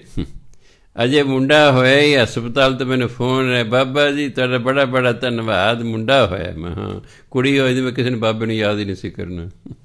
ਮੁੰਡਾ ਹੋਇਆ, ਤੜਾ, ਤੜ ਫੋਨ ਹੋ ਰਿਹਾ। ਸਭ ਤੋਂ ਪਹਿਲਾਂ ਤੁਹਾਨੂੰ ਕੀਤਾ ਜੀ। ਅੱਛਾ ਜੀ। ਉਹਨੂੰ ਪੁੱਛੇ, ਤੇਰੇ ਮੁੰਡੇ ਦਾ ਮੈਨੂੰ ਕੀ ਭਾਅ ਹੈ ਬਈ? ਵੀ ਮੈਨੂੰ ਤਾਂ ਕੀ ਫਾਇਦਾ ਤੇਰੇ ਮੁੰਡੇ ਦਾ? ਤੂੰ ਤਾਂ ਬੈਠਾ ਅੰਮ੍ਰਿਤਸਰ। ਉਹਨੇ ਤੇ ਆ ਕੇ ਮੈਨੂੰ ਲੱਤਾਂ ਕੁੱਟਣੀਆਂ ਆਪਣੀ ਖੁਸ਼ੀ ਜ਼ਾਹਰ ਕਰ ਰਿਹਾ ਵੀ ਤੁਸੀਂ ਮੈਨੂੰ ਪਾੜ ਦਿੱਤਾ ਸੀ, ਸਾਡੇ ਘਰ ਪੁੱਤਰ ਹੋਇਆ। ਕਹਿੰਦਾ, ਸਭ ਤੋਂ ਪਹਿਲਾਂ ਮੈਂ ਤੁਹਾਨੂੰ ਦੱਸ ਰਿਹਾ, ਮੈਂ ਠੀਕ ਹੈ, ਵਧਾਈਆਂ ਭਾਈ ਵਧਾਈ ਬਹੁਤ ਬਹੁਤ ਵਧਾਈਆਂ। ਵਧਾਈਆਂ ਦੇਣੀ ਚਾਹੀਦੀ ਖੁਸ਼ੀ ਦੇ ਕੰਮ ਖੁਸ਼ੀ ਪ੍ਰਗਟ ਕਰਨੀ ਚਾਹੀਦੀ। ਹੁਣ ਜਿਹੜੇ ਬੀਬੀਆਂ ਸੜ ਮੱਚ ਜਾਂਦੀਆਂ ਦੂਜੀ ਤਰੱਕੀ ਵੇਖ ਕੇ, ਉਹ ਵੀ ਵਧਾਈਆਂ ਦੀ ਭੈਣੇ, ਤੇਰਾ ਮੁੰਡਾ ਫਸਟ ਹੈ ਵਧਾਈਆਂ, ਵਿੱਚੋਂ ਹਾਏ ਹੋਏ ਮੇਰਾ ਨਹੀਂ ਆਇਆ। ਤੁਹਾਡਾ ਬੱਚਾ ਪਾਸ ਹੋਇਆ ਨਾ, ਸਿਰਫ ਦੋ ਨੂੰ ਖੁਸ਼ੀ ਹੁੰਦੀ। ਇੱਕ ਟੀਚਰ ਨੂੰ, ਇੱਕ ਮਾਪਿਆਂ ਨੂੰ। ਬਾਕੀ ਕਿਸੇ ਨੂੰ ਕੋਈ ਖੁਸ਼ੀ ਨਹੀਂ ਹੁੰਦੀ। ਬਾਕੀ ਝੂਠੀ ਖੁਸ਼ੀ ਹੈ। ਝੂਠੇ ਜੇ ਵਧਾਈਆਂ ਨੇ। ਵਿੱਚੋਂ ਕਹਿੰਦੇ, ਹਾਏ ਹੋਏ ਇਹਨਾਂ ਦਾ ਕਿਉਂ ਨੌਕਰੀ ਲੱਗ ਗਿਆ ਹਾਏ ਹੋਏ ਕਿਉਂ ਫਸਟ ਆ ਗਿਆ ਹਾਏ ਹੋਏ ਚੰਗੀ ਘਰ 'ਚ ਕਿਉਂ ਵਿਆਹ ਹੋ ਗਿਆ? ਹੈ ਹਾਏ ਹੋਏ ਪਹਿਲੇ ਹੀ ਪੁੱਤਰ ਹੋ ਗਿਆ। ਇਸ ਤਰ੍ਹਾਂ ਹੁੰਦਾ ਹੁਣ। ਸੋ ਕਹਿੰਦੇ, ਇਹ ਸੰਸਾਰ ਹੈ, ਇਹ ਤੇ ਰੀਸ ਕਰਦਾ ਇੱਕ ਦੂਜੇ ਦੀ। ਪਰ ਕੌਣ ਨਹੀਂ ਰੇਸ ਕਰਦਾ ਜਿਹਦੀ ਦੇਖਭਾਲ ਪਰਮਾਤਮਾ ਕਰਦਾ? ਪਰ ਜੋ ਪਰਮਾਤਮਾ ਦਾ ਨਾਮ ਜਪਦਾ, ਉਹ ਸੰਸਾਰ ਦੀ ਰੀਸ ਨਹੀਂ ਕਰਦਾ। ਉਹ ਸੰਸਾਰੀਆਂ ਵਾਂਗੂ ਨਹੀਂ ਜੀਵਨ ਜਿਉਂਦਾ। ਉਹਦਾ ਜੀਵਨ ਢੰਗ ਵੱਖਰਾ ਹੁੰਦਾ ਹੈ। ਮਹਿਲਾ ਪੰਜਵਾਂ, ਫਰੀਦਾ ਦਿਲ ਰਤਾ ਇਸ ਦੁਨੀ ਸਿਉ। ਦੁਨੀ ਨਾ ਕਿਤੇ ਕੰਮ ਮਿਸਲ ਫਕੀਰਾਂ ਗਾਖੜੀ, ਸੋ ਪਾਈਏ ਪੂਰ ਕਰਮ। ਫਰੀਦਾ ਦਿਲ ਰੱਤਾ ਇਸ ਦੁਨੀ ਸਿਉ ਮਨ ਤੇ ਸੰਸਾਰ 'ਚ ਲੱਗਿਆ ਹੋਇਆ। ਮਨ ਇਸ ਸੰਸਾਰ ਨੂੰ ਪਿਆਰ ਕਰ ਰਿਹਾ ਹੈ, ਇਸ ਦੇ ਵਿੱਚ ਰੱਤਾ ਹੋਇਆ ਹੈ, ਇਸ ਵਿੱਚ ਲੱਗਿਆ ਹੋਇਆ ਹੈ। ਦੁਨੀ ਨਾ ਕਿਤੇ ਕੰਮ, ਪਰ ਇਸ ਸੰਸਾਰ ਨੇ ਤੇਰੇ ਕੰਮ ਨਹੀਂ ਹੋਣੇ ਗਣਾ। ਜੇ ਸੰਸਾਰ ਤੂੰ ਆਪਣਾ ਮਨ ਲਾ ਰੱਖਿਆ ਨਾ ਇਸ ਸੰਸਾਰ ਨੇ ਅੰਤਰੇ ਸਮੇਂ ਤੇਰੇ ਕੰਮ ਨਹੀਂ ਆਉਣਾ। ਕਿਉਂਕਿ ਜਦੋਂ ਜਮਾ ਨੇ ਲੈਣ ਆਉਣਾ, ਸਾਨੂੰ ਕੋਈ ਨਹੀਂ ਛਡਾ ਸਕਦਾ। ਸੰਸਾਰ ਦਾ ਕੋਈ ਵੀ ਰਿਸ਼ਤੇਦਾਰ, ਦੋਸਤ, ਮਿੱਤਰ ਸਾਨੂੰ ਜਮਾ ਤੋਂ ਨਹੀਂ ਛੁਡਾ ਸਕਦਾ। ਕਹਿੰਦੇ, ਜੇ ਸੰਸਾਰ 'ਚ ਲੱਗ ਕੇ ਤੂੰ ਪਰਮਾਤਮਾ ਦਾ ਨਾਮ ਨਹੀਂ ਨਾ ਜਪ ਰਿਹਾ ਇਸ ਸੰਸਾਰ ਨੇ ਅੰਤਲੇ ਸਮੇਂ ਤੇਰੀ ਕੋਈ ਸਹਾਇਤਾ ਨਹੀਂ ਕਰਨੀ। ਇਹਨੇ ਤੇਰੇ ਕੰਮ ਨਹੀਂ ਆਣਾ ਕਰਨਾ। ਕਿੰਨੇ ਹੀ ਨੇ ਮੇਰੇ ਕੋਲ ਨੇ, ਉਹ ਬਾਬਾ ਜੀ, ਮੇਰੇ ਦੋਸਤ ਨੇ ਮੇਰੇ ਤੋਂ ਉਧਾਰ ਲੈ ਲਏ ਪੈਸੇ ਜੀ, ਇੰਨੇ ਸਾਲ ਹੋ ਗਏ, ਮੋੜਦਾ ਨਹੀਂ ਹੈ ਜੀ, ਮੈਂ ਟੈਲੀਫੋਨ ਕਰਦਾ ਕਰਦਾ ਨਹੀਂ। ਮੈਂ ਸੰਸਾਰ ਹੈ ਭਾਈ। ਇਹ ਬੇਈਮਾਨ ਨਾਲ ਭਰਿਆ ਹੋਇਆ ਹੈ। ਇਹ ਮੂੰਹ ਦੇ ਮਿੱਠੇ ਨੇ, ਦਿਲ ਦੇ ਖੋਟੇ ਨੇ।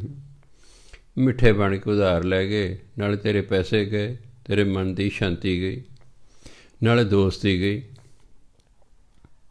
ਨਾਲੇ ਦੋਸਤੀ ਗਈ, ਤੂੰ ਕੀ ਘਟਿਆ ਇਹ ਮਨੁੱਖ ਸੰਸਾਰ 'ਚ ਹੀ ਲੱਗਾ ਰਹਿੰਦਾ ਹੈ, ਪਰ ਇਹ ਸੰਸਾਰ ਨੇ ਕਹਿੰਦੇ ਅੰਤਲੇ ਸਮੇਂ ਤੇਰੇ ਕੰਮ ਨਹੀਂ ਆਉਣਾ। ਮਿਸਲ ਫਕੀਰਾਂ ਗਾਖੜੀ, ਮਿਸਲ ਹੁੰਦਾ ਜੀਵਨ ਢੰਗ। ਫਕੀਰਾਂ ਦਾ ਸਾਧੂਆਂ ਦਾ ਜਿਹੜੇ ਜੀਵਨ ਢੰਗ ਨੇ, ਇਹ ਤੇ ਗਾਖੜੀ ਬਹੁਤ ਔਖਾ ਹੈ।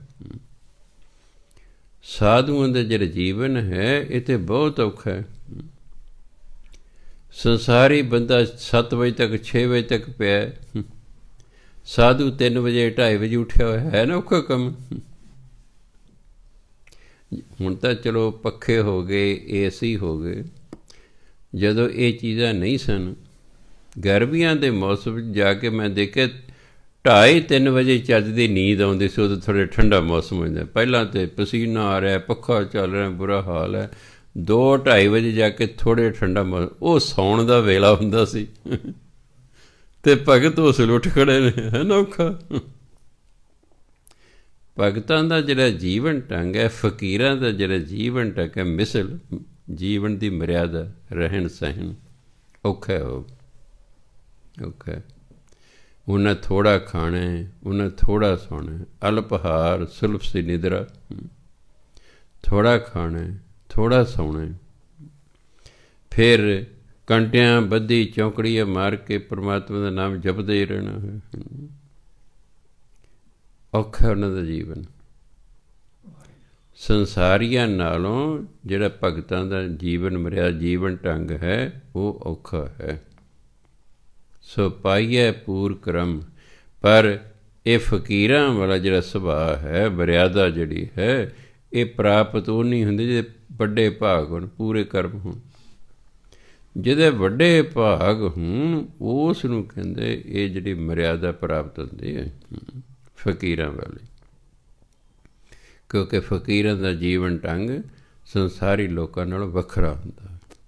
ਉਹਨਾਂ ਨੂੰ ਪਤਾ ਹੁੰਦਾ ਕਿ ਔਖੇ ਸੌਖੇ ਸਮਝ ਪਰਮਾਤਮਾ ਨੇ ਮੇਰੀ ਸਹਾਇਤਾ ਕਰਨੀ ਉਹਨਾਂ ਨੂੰ ਪਰਮਾਤਮਾ ਤੇ ਵਿਸ਼ਵਾਸ ਹੁੰਦਾ ਉਹ ਸੰਸਾਰੀਆਂ ਤੇ ਆਸ ਹੀ ਨਹੀਂ ਰੱਖਦੇ। ਉਹ ਸੰਸਾਰੀਆਂ ਤੇ ਆਸ ਨਹੀਂ ਰੱਖਦੇ ਕਿ ਔਖੇ ਵੇਲੇ ਸਾਡੀ ਸਹਾਇਤਾ ਕਰਨਗੇ। ਉਹ ਤੇ ਪਰਮਾਤਮਾ ਤੇ ਆਸ ਰੱਖਦੇ ਨੇ। ਇਸ ਲਈ ਉਹ ਭਜਨ ਬੰਦਗੀ ਕਰਦੇ ਰਹਿੰਦੇ ਨੇ। ਕਿੰਨਾ ਕਿੰਨੀ ਦੇਰ, ਸਾਲਾਂ ਬੱਧੀ ਉਹਨਾਂ ਨੂੰ ਤਪੱਸਿਆ ਕਰਨੀ ਪੈਂਦੀ ਹੈ। ਭੁੱਖੇ ਪਿਆਸੇ ਰਹਿਣਾ ਪੈਂਦਾ ਹੈ, ਘੰਟਿਆਂ ਬੱਧੀ ਬਹਿਣਾ ਪੈਂਦਾ ਹੈ, ਅੰਮ੍ਰਿਤ ਵੇਲੇ ਉੱਠਣਾ ਪੈਂਦਾ ਹੈ। ਥੋੜਾ ਖਾਣਾ ਹੈ ਥੋੜਾ ਸੌਣਾ ਸਿੰਪਲ ਕੱਪੜੇ ਪਾਣੇ ਨੇ। ਸੋ ਇਸ ਲਈ ਉਹਨਾਂ ਜਿਹੜਾ ਜੀਵਨ ਢੰਗ ਹੈ, ਉਹ ਸੰਸਾਰੀਆਂ ਨਾਲੋਂ ਔਖਾ ਹੁੰਦਾ ਪਰ ਇਹ ਪ੍ਰਾਪਤ ਫਕੀਰਾਂ ਵਾਲੀ ਮਿਸਲ, ਫਕੀਰਾਂ ਵਾਲੀ ਮਰਿਆਦਾ ਪ੍ਰਾਪਤ ਉਹਨੂੰ ਹੀ ਹੁੰਦੀ ਜਿਹਦੇ ਵੱਡੇ ਭਾਗ ਹੋਣ। ਵੈਸੇ ਅਸੀਂ ਸਾਰੇ ਆਪਣੀ ਆਪਣੀ ਕਿਸਮਤ ਲਿਖਾ ਕੇ ਲਿਆਏ ਪਹਿਲਾਂ ਹੀ। ਪਰ ਸਾਨੂੰ ਨਾ ਪਤਾ ਹੋਣ ਕਰਕੇ ਸਾਨੂੰ ਚਿੰਤਾ ਲੱਗੀ ਰਹਿੰਦੀ। ਮਰਨ ਤੱਕ ਸਾਨੂੰ ਚਿੰਤਾ ਲੱਗੀ ਰਹਿੰਦੀ ਵੀ ਕੱਲ ਨੂੰ ਪਤਾ ਨਹੀਂ ਕੀ ਹੋਏਗਾ, ਅਗਲੇ ਸਾਲ ਪਤਾ ਸਾਡੇ ਨਾਲ ਕੀ ਹੋਵੇਗਾ। ਜੋ ਹੋਣਾ ਉਹ ਤੇ ਲਿਖਾ ਲਿਆਏ ਆ। ਜੋ ਹੋਣੇ ਉਹ ਤੇ ਪਹਿਲੇ ਲਿਖਿਆ ਹੋਇਆ ਸਾਡੇ ਸੋਚਣ ਨਾਲ ਕੁਝ ਨਹੀਂ ਹੋਣਾ। ਸਾਡੇ ਸੋਚਣ ਨਾਲ ਕੁਝ ਨਹੀਂ ਹੋਣਾ। ਉਹ ਤੇ ਪਹਿਲੇ ਲਿਖਿਆ, ਦੁੱਖ, ਸੁੱਖ, ਜੋ ਕੁਝ ਲਿਖਿਆ ਹੈ। ਤੁਹਾਨੂੰ ਸਰਕਾਰੀ ਨੌਕਰੀ ਮਿਲਣੀ ਹੈ, ਲਿਖੀ ਹੋਏ ਨਹੀਂ ਮਿਲਣੀ, ਲਿਖੀ ਨਹੀਂ ਮਿਲਣੀ। ਲਾ ਲਓ ਜਿਹੜਾ ਜ਼ੋਰ ਲਾਉਣ ਲਾਈ ਨਹੀਂ ਨਹੀਂ ਲਿਖੀ ਹੁੰਦੀ। ਇੱਕ ਬੀਬੀ ਆ ਗਈ ਕਈ ਸਾਲਾਂ ਦੀ ਗੱਲ। ਬਾਬਾ ਜੀ, ਇੱਕ ਬੰਦੇ ਨੇ ਸਾਡੇ ਤੋਂ 80 ਲੱਖ ਰੁਪਈਆ ਲਿਆ। ਕਿ ਮੈਂ ਤੁਹਾਡੇ ਲੜਕੇ ਨੂੰ ਨਾ ਪੀਸੀਐਸ ਅਫਸਰ ਲਵਾ ਦਾਂਗਾ। ਅਸੀਂ ਉਹਨੂੰ ਕਹਿੰਦੇ ਜੀ 80 ਲੱਖ ਦੇਤਾ। ਮੈਂ ਤੁਹਾਡੇ ਕੋਲ ਕਿੱਥੋਂ ਆਇਆ? ਕਹਿੰਦੇ ਦੋ ਕਿੱਲੇ ਜ਼ਮੀਨ ਵੇਚੀ। ਕਹਿੰਦੇ 7 ਸਾਲ ਹੋ ਗਏ ਨਾ ਸਾਡੇ ਪੈਸੇ ਮੁੜਦਾ, ਨਾ ਸਾਡੇ ਮੁੰਡੇ ਨੂੰ ਅਫਸਰ ਲਵਾਇਆ। ਨਾ ਸਾਡੇ ਪੈਸੇ ਮੁੜਦਾ, ਨਾ ਅਫਸਰ ਲਵਾਇਆ। 80 ਲੱਖ ਦੇ ਕੇ ਵੀ ਸਰਕਾਰੀ ਨੌਕਰੀ ਨਹੀਂ ਮਿਲੀ। ਭਾਗਾਂ 'ਚ ਹੀ ਨਹੀਂ ਹੈ, ਕਿੱਥੋਂ ਮਿਲ ਜਾਏਗੀ? ਤੇ ਜੇ ਭਾਗਾਂ 'ਚ ਹੈ, ਬਿਨਾਂ ਪੈਸੇ ਦੇ ਵੀ ਮਿਲ ਜਾਣੀ ਹੈ। ਜੇ ਭਾਗਾਂ 'ਚ ਤਾਂ ਬਿਨਾਂ ਪੈਸੇ ਵੀ ਮਿਲ ਜਾਣੇ। ਤੇ ਜੇ ਨਹੀਂ ਭਾਗਾਂ ਦੇ ਜਿਹੜੇ ਮਰਜ਼ੀ ਪੈਸੇ ਚੱਕੀ ਫਿਰੋ ਨਹੀਂ ਮਿਲਣੇ ਤੁਹਾਡੀ ਕੁੜੀ ਦੀ ਸ਼ਾਦੀ ਉਦੋਂ ਹੀ ਹੋਣੀ ਹੈ ਜਿਸ ਸਾਲ ਲਿਖਿਆ ਹੋਇਆ ਹੈ। ਜੇ ਲਿਖਿਆ ਨਹੀਂ ਹੋਣੀ, ਫਿਰ ਨਹੀਂ ਹੋਣੀ, ਜੋ ਮਰਜ਼ੀ ਪਹਿਲੇ ਜ਼ੋਰ ਲਾਓ। ਇੱਕ ਬੀਵੀ ਬੜੀ ਸੋਹਣੀ, ਸੁਨੱਖੀ ਪ੍ਰੋਫੈਸਰ ਲੱਗੀ ਹੋਈ, ਬਿਲਕੁਲ ਆਈ। ਕਹੇ, ਬਾਬਾ ਮੇਰੀ 38 ਸਾਲ ਉਮਰ ਹੋ ਗਈ ਮੈਂ ਪ੍ਰੋਫੈਸਰ ਲੱਗੀ ਹੋਈ, ਹਾਂ ਮੈਂ ਦੇਖਿਆ ਕਿਆ ਪਰਸਨੈਲਿਟੀ ਹੈ। ਕਿ ਸ਼ਾਦੀ ਨਹੀਂ ਹੋ ਰਹੀ। ਸ਼ਾਦੀ ਨਹੀਂ ਹੋ ਰਹੀ। ਇੱਕ ਦੀ ਲੜਕੀ ਮੋਟੀ ਤਾਂ ਸੀ। ਕਹਿੰਦੇ, ਬਾਬਾ ਜੀ, ਸਾਡੀ ਲੜਕੀ ਦੀ ਸ਼ਮੈ ਜੀ, ਜਿਹਦੇ ਨਾਲ ਸੰਜੋਗ ਰਹੇ ਨਾ, ਉਹਦੇ ਵਿਚਾਰ ਹੀ ਮੋਟੀ ਵਾਲੇ ਹੋਣਗੇ। ਵੀ ਮੈਂ ਨਹੀਂ ਸੁੱਕੀ ਸੜੀ ਜੀ ਲੈਣੀ। ਮੈਂ ਨਹੀਂ ਸੁੱਕੀ ਸੜੀ ਜੀ ਲੈਣੀ, ਹਾਂ। ਮੈਂ ਉਹਦੇ ਵਿਚਾਰ ਹੀ ਇਹੋ ਜਿਹੇ ਹੋਣੇ ਨੇ। ਹੋ ਗਿਆ ਰਿਸ਼ਤਾ, ਮੈਂ ਕਿਉਂ? ਮੈਂ ਜਿਹਦੇ ਨਾਲ ਸੰਜੋਗ ਲਿਖੇ ਨੇ ਉਹਦੇ ਪਹਿਲੇ ਲਿਖੇ ਹੋਏ ਨੇ। ਸੰਜੋਗ ਪਹਿਲੇ ਹੀ ਲਿਖੇ ਹੁੰਦੇ ਨਾਨਕ ਸਤਗੁਰ ਤੇ ਨਾ ਮਿਲਾਇਆ ਜਿਨਾ ਤੁਰੇ ਪਿਆ, ਸੰਜੋਗ ਕਾਰਡ ਤੇ ਲਿਖ ਦਿਓ ਨਾ। ਪਰ ਵਿਸ਼ਵਾਸ ਨਹੀਂ ਇਸ ਗੱਲ ਤੇ। ਉਹ ਫਾਰਮੈਲਟੀਆਂ, ਉਹਨੇ ਵੀ ਕਾਰਡ ਤੇ ਲਿਖਿਆ, ਮੈਂ ਵੀ ਲਿਖਣਾ। ਲਿਖਣਗੇ, ਸਾਡੇ ਪੂਜਨੀਕ ਪਿਤਾ ਜੀ ਸਵਰਗ ਸੁਧਾਰ ਗਏ। ਉਹਨੇ ਪੁੱਛਿਆ ਵੀ ਸਵਰਗ ਸੁਧਾਰ ਗਏ ਦਾ ਮਤਲਬ ਕੀ ਹੈ ਵੀ ਸਵਰਗਾ ਨੂੰ ਚਲੇ ਗਏ? ਉਹਨਾਂ ਦੀ ਆਤਮਿਕ ਸ਼ਾਂਤੀ ਲਈ ਵੀ ਦੱਸ, ਜਿਹੜਾ ਬੰਦਾ ਸਵਰਗ ਚਲੇ ਗਿਆ ਤੇ ਨੱਚ ਟੱਪ ਰਿਹਾ ਹੋਏਗਾ, ਉਹਦੀ ਆਤਮਾ ਵਿੱਚ ਜੇ ਕੋਈ ਤਕਲੀਫ ਜੇ ਕਹਿੰਦੇ ਉਹਦੀ ਉਹਨਾਂ ਦੀ ਆਤਮਿਕ ਸ਼ਾਂਤੀ ਲਈ ਇੱਕ ਤੋਂ ਦੋ ਕਦੇ ਕੀਰਤਨ ਹੋਏਗਾ। ਉਂਝ ਬਸ, ਉਹ ਕਾਰਡ ਜੋ ਛਪੇ ਹੁੰਦੇ ਨੇ। ਕੋਈ ਕਹੂਗਾ ਜੀ ਸਾਡੇ ਪੂਜਨਿਕ ਪਿਤਾ ਜੀ, ਗੁਰੂ ਚਰਨਾ ਜਾ ਬਰਾਜੇ ਉਹ ਭਲਿਓ ਮਾਨਸੋ, ਗੁਰੂ ਤੇ ਰਹਿੰਦਾ ਸੱਚਖੰਡ 'ਚ। ਤੇ ਜੀ ਉਹਦੇ ਚਰਨ ਚੜ ਤੁਹਾਡਾ ਬਾਪ ਤਾਂ ਸੱਚਖੰਡ 'ਚ ਲਿਆ ਗਿਆ ਹੈ ਤੇ ਤੁਸੀਂ ਤੇ ਖੁਸ਼ੀਆਂ ਮਨਾਓ, ਨੱਚੋ, ਟੱਪੋ, ਢੋਲ ਵਜਾਓ, ਤੇ ਇਹ ਕੋ ਕਹਿੰਦੇ? ਆਤਮਾ ਜਿਹੜੀ ਉਹਦੀ ਕਹੇ, ਆਤਮਿਕ ਸ਼ਾਂਤੀ ਲਈ। ਸਭ ਫਾਰਮੈਲਿਟੀ ਕਿਸੇ ਦਾ ਸਵਰਗਾਂ ਨੂੰ ਨਹੀਂ ਗਿਆ, ਕਿਸੇ ਦੇ ਗੁਰੂ ਚਰਨਾਂ 'ਚ, ਇੱਥੇ ਤੱਕੇ ਤੁੱਕੇ ਖਾਂਦੇ ਫਿਰਦੇ ਨੇ। ਸਵਰਗਾਂ ਨੂੰ ਜਾਣਾ ਤੇ ਗੁਰੂ ਦੇ ਚਰਨਾਂ ਜਾਣਾ, ਕੋਈ ਖਾਲਾ ਜੀ ਦਾ ਵੜ। ਪਤਾ ਨਹੀਂ ਕਿੰਨੇ ਜਨਮਾਂ ਦੀ ਭਜਨ ਬੰਦਗੀ ਚਾਹੀਦੀ ਹੁੰਦੀ ਹੈ। ਇੱਥੇ ਸ਼ਰਾਬਾਂ ਪੀਂਦੇ ਰਹਿੰਦੇ ਨੇ ਤੇ ਪੁੱਠੇ ਕੰਮ ਕਰਦੇ ਰਹਿੰਦੇ ਨੇ। ਹੁਣ ਭਾਈ ਵਿਚਾਰਾ ਕੀ ਕਰੇ? ਚੋਰ ਮਰ ਗਿਆ। ਹੈ ਸੱਚੇ ਪਾਤਸ਼ਾਹ, ਆਪਣੇ ਚਰਨਾਂ 'ਚ ਨਿਵਾਸ ਬਖਸ਼ਿਓ। ਸੱਚੇ ਪਾਤਸ਼ਾਹ ਕੋਖੜੇ ਤੋਂ ਦੋ ਮਾਰ ਰਖੜੇ ਉਹਦੀ ਅਰਦਾਸ ਕਰਦੇ ਸੜਿਆ ਜਾ ਇਹ ਇਹ ਸਾਰੀ ਵਰ ਚੋਰੀਆਂ ਕਰਦਾ ਰਿਹਾ, ਮੈਨੂੰ ਆਪਣੇ ਚਰਨਾਂ 'ਚ ਨਿਵਾਸ ਬਖਸ਼ੇ। ਗੁਰ ਪੀਰ ਹਮ ਤਾਂ ਪਰੈ, ਜਾਂ ਮੁਰਦਾਰ ਨਾ ਖਾਏ। ਗੁਰੂ ਪੀਰ ਹਮ ਹੀ ਤਾਂ ਪਰ, ਜੇ ਬੰਦਾ ਹਰਾਮ ਦੀ ਕਮਾਈ ਨਾ ਖਾਏ। ਇਹ ਤੇ ਹਰਾਮ ਦੀ ਕਮਾਈ ਸਾਰੀ ਉਮਰ ਖਾਂਦਾ ਤੇ ਤੂੰ ਅਰਦਾਸ ਕਰ, ਸੱਚੇ ਪਾਤਸ਼ਾਹ ਆਪਣੇ ਚਰਨਾਂ 'ਚ ਨਿਵਾਸ ਬਖਸ਼ੇ। ਅਗਲਾ ਕੀ ਕਰੇ ਅਗਲਾ 100 ਰੁਪਏ ਲਈ ਕਹਿ ਰਿਹਾ। ਨਿਵਾਸ ਹੋਵੇ, ਨਾ ਹੋਵੇ, ਦਵਾ ਹੋਵੇ। ਹੁਣ ਤਾਂ ਆਪਣੀ ਫਾਰਮੈਲਿਟੀ ਕਰ ਸਭ ਫਾਰਮੈਲਿਟੀਆਂ ਨੇ। ਕਿੱਥੇ ਜਾਂਦਾ? ਚਰਨਾ ਚ ਨਿਵਾਸ ਮਿਲਦੇ ਜੇ ਅਰਦਾਸਾਂ ਨਾਲ ਹੀ ਮਿਲ ਜਾਣ, ਫਿਰ ਤਾਂ ਭਜਨ ਬੰਦੀ ਕਰਨ ਦੀ ਲੋੜ ਹੀ ਨਹੀਂ। ਮੇਰੇ ਵਰਗੇ ਨੂੰ 100 ਰੁਪਏ ਹੱਥ ਦੇ ਦਿੱਤਾ, ਬਾਬਾ ਜੀ ਕਰਿਓ ਅਰਦਾਸ ਸੱਚ ਖੜੇ ਨੂੰ ਚਲੇ ਜਾਏ ਕਹਿੰਦੇ ਜੀ, ਜਿਉਂਦਿਆਂ ਹੋਇਆਂ ਅਨੇਕਾਂ ਭੁੱਲਾਂ ਚੁੱਕਾਂ ਹੋ ਗਈਆਂ ਹੋਣਗੀਆਂ ਜੀ। ਆ ਬਖਸ਼ੰਦ ਹੋ ਜੀ, ਇਹਦੀਆਂ ਭੁੱਲਾਂ ਚੁੱਕਾਂ ਬਖਸ਼ ਦਿਓ ਜੀ। ਇਹਨੂੰ ਆਪਣੇ ਚਰਨਾਂ 'ਚ ਨਿਵਾਸ ਬਖਸ਼ੋ ਜੀ। ਹਾਂ, ਹੋਰ ਕੁਝ ਬਖਸ਼ੋ ਜੀ। ਇਹ ਜੇ ਐਂ ਸਾਡੇ ਕਹਿਣ ਤੇ ਭੁੱਲਾਂ ਚੁੱਕਾਂ ਬਖਸ਼ਣ ਲੱਗ ਜਾਂ ਫਿਰ ਤੇ ਗੱਲਾਂ ਹੀ ਫਿਰ ਤੇ ਇੱਕ ਇੱਕ ਵੀ ਨਰਕ ਨੂੰ ਨਾ ਜਾਵੇ। ਸਾਰਿਆਂ ਦੇ ਮਗਰੋਂ ਇਹੀ ਅਰਦਾਸਾਂ ਹੁੰਦੀਆਂ। ਚਾਹੇ ਹਿੰਦੂ ਹੈ, ਸਿੱਖ ਹੈ, ਮੁਸਲਮਾਨ ਹੈ ਸਾਈ ਕੋਈ ਵੀ ਇਹੀ ਸਾਰੇ ਕਹਿੰਦੇ ਨੇ। ਫਿਰ ਤਾਂ ਬੱਲੇ, ਪਤਾ ਨਹੀਂ ਕਿੰਨੇ ਕੁ ਸੱਚਖੰਡ ਚਾਹੀਦੇ ਸੀ। ਸਵਰਗ ਤੇ ਇੱਕੋ ਹੈ।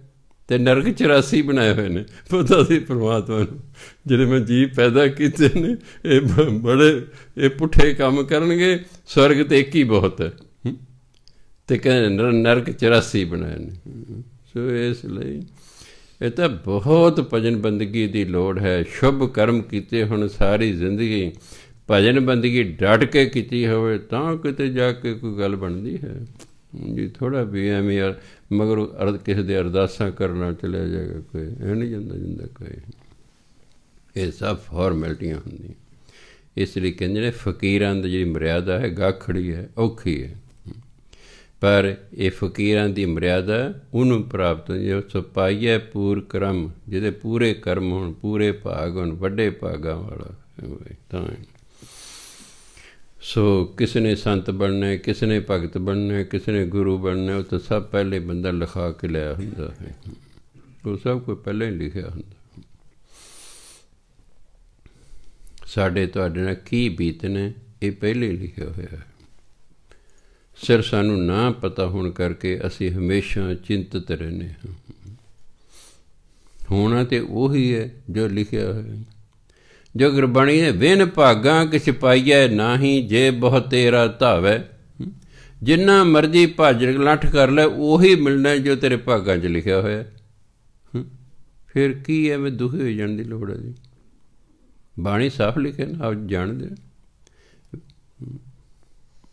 ਬਿਨ ਭਾਗਾਂ ਕਿਛ ਪਾਈਐ ਨਾਹੀ, ਜੇ ਬਹੁ ਤੇਰਾ ਧਾਵੈ ਧਾਵੈ ਦਾ ਭਜ ਨਟ ਕਰਨਾ।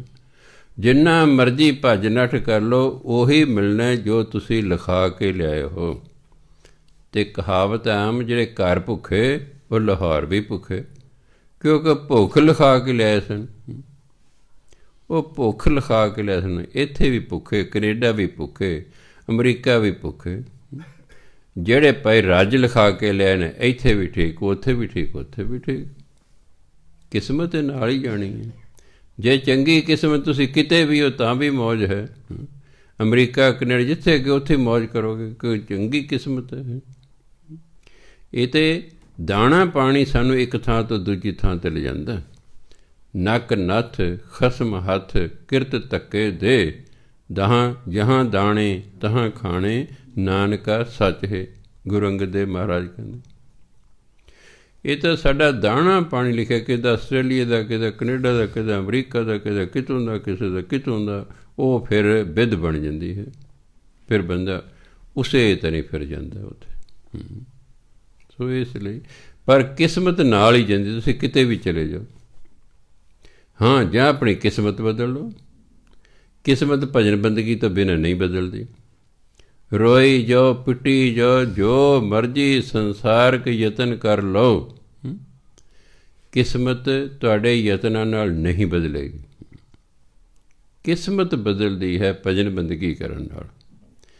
ਭਜਨ ਬੰਦਗੀ ਡਟ ਕੇ ਕਰੋ, ਜਿੱਥੇ ਵੀ ਤੁਸੀਂ ਹੋ, ਉੱਥੇ ਠੀਕ ਹੈ ਸਭ ਕੁਝ ਉੱਥੇ ਪਰਮਾਤਮਾ ਰੰਗ ਲਾ ਦੇਗਾ। ਭਜਨ ਬੰਦਗੀ ਕਰੋ ਡਟ ਕੇ। ਉਹ ਮਨੁੱਖ ਕਰਦਾ ਨਹੀਂ, ਚਿੰਤਾ ਕਰਦਾ ਰਹਿੰਦਾ। ਚਿੰਤਾ ਕਰਦਾ ਰਹਿੰਦਾ।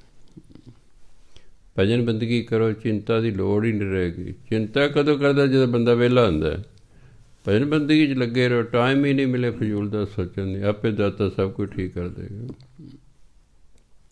ਜੋ ਕਹਿੰਦੇ, ਜੋ ਜਨ ਤੁਮਰੀ ਭਗਤ ਕਰੰਤੇ, ਤਿਨ ਕੇ ਕਾਜ ਸਵਾਰਤ ਜੇ ਤੇ ਬਾਣੀ 'ਚ ਵਿਸ਼ਵਾਸ ਹੈ, ਫਿਰ ਤਾਂ ਭਜਨ ਬੰਦਗੀ ਕਰੀ ਜੋ ਆਪੇ ਦਾਤਾ ਕਾਰਜ ਸਵਾਰ ਦੇਗਾ।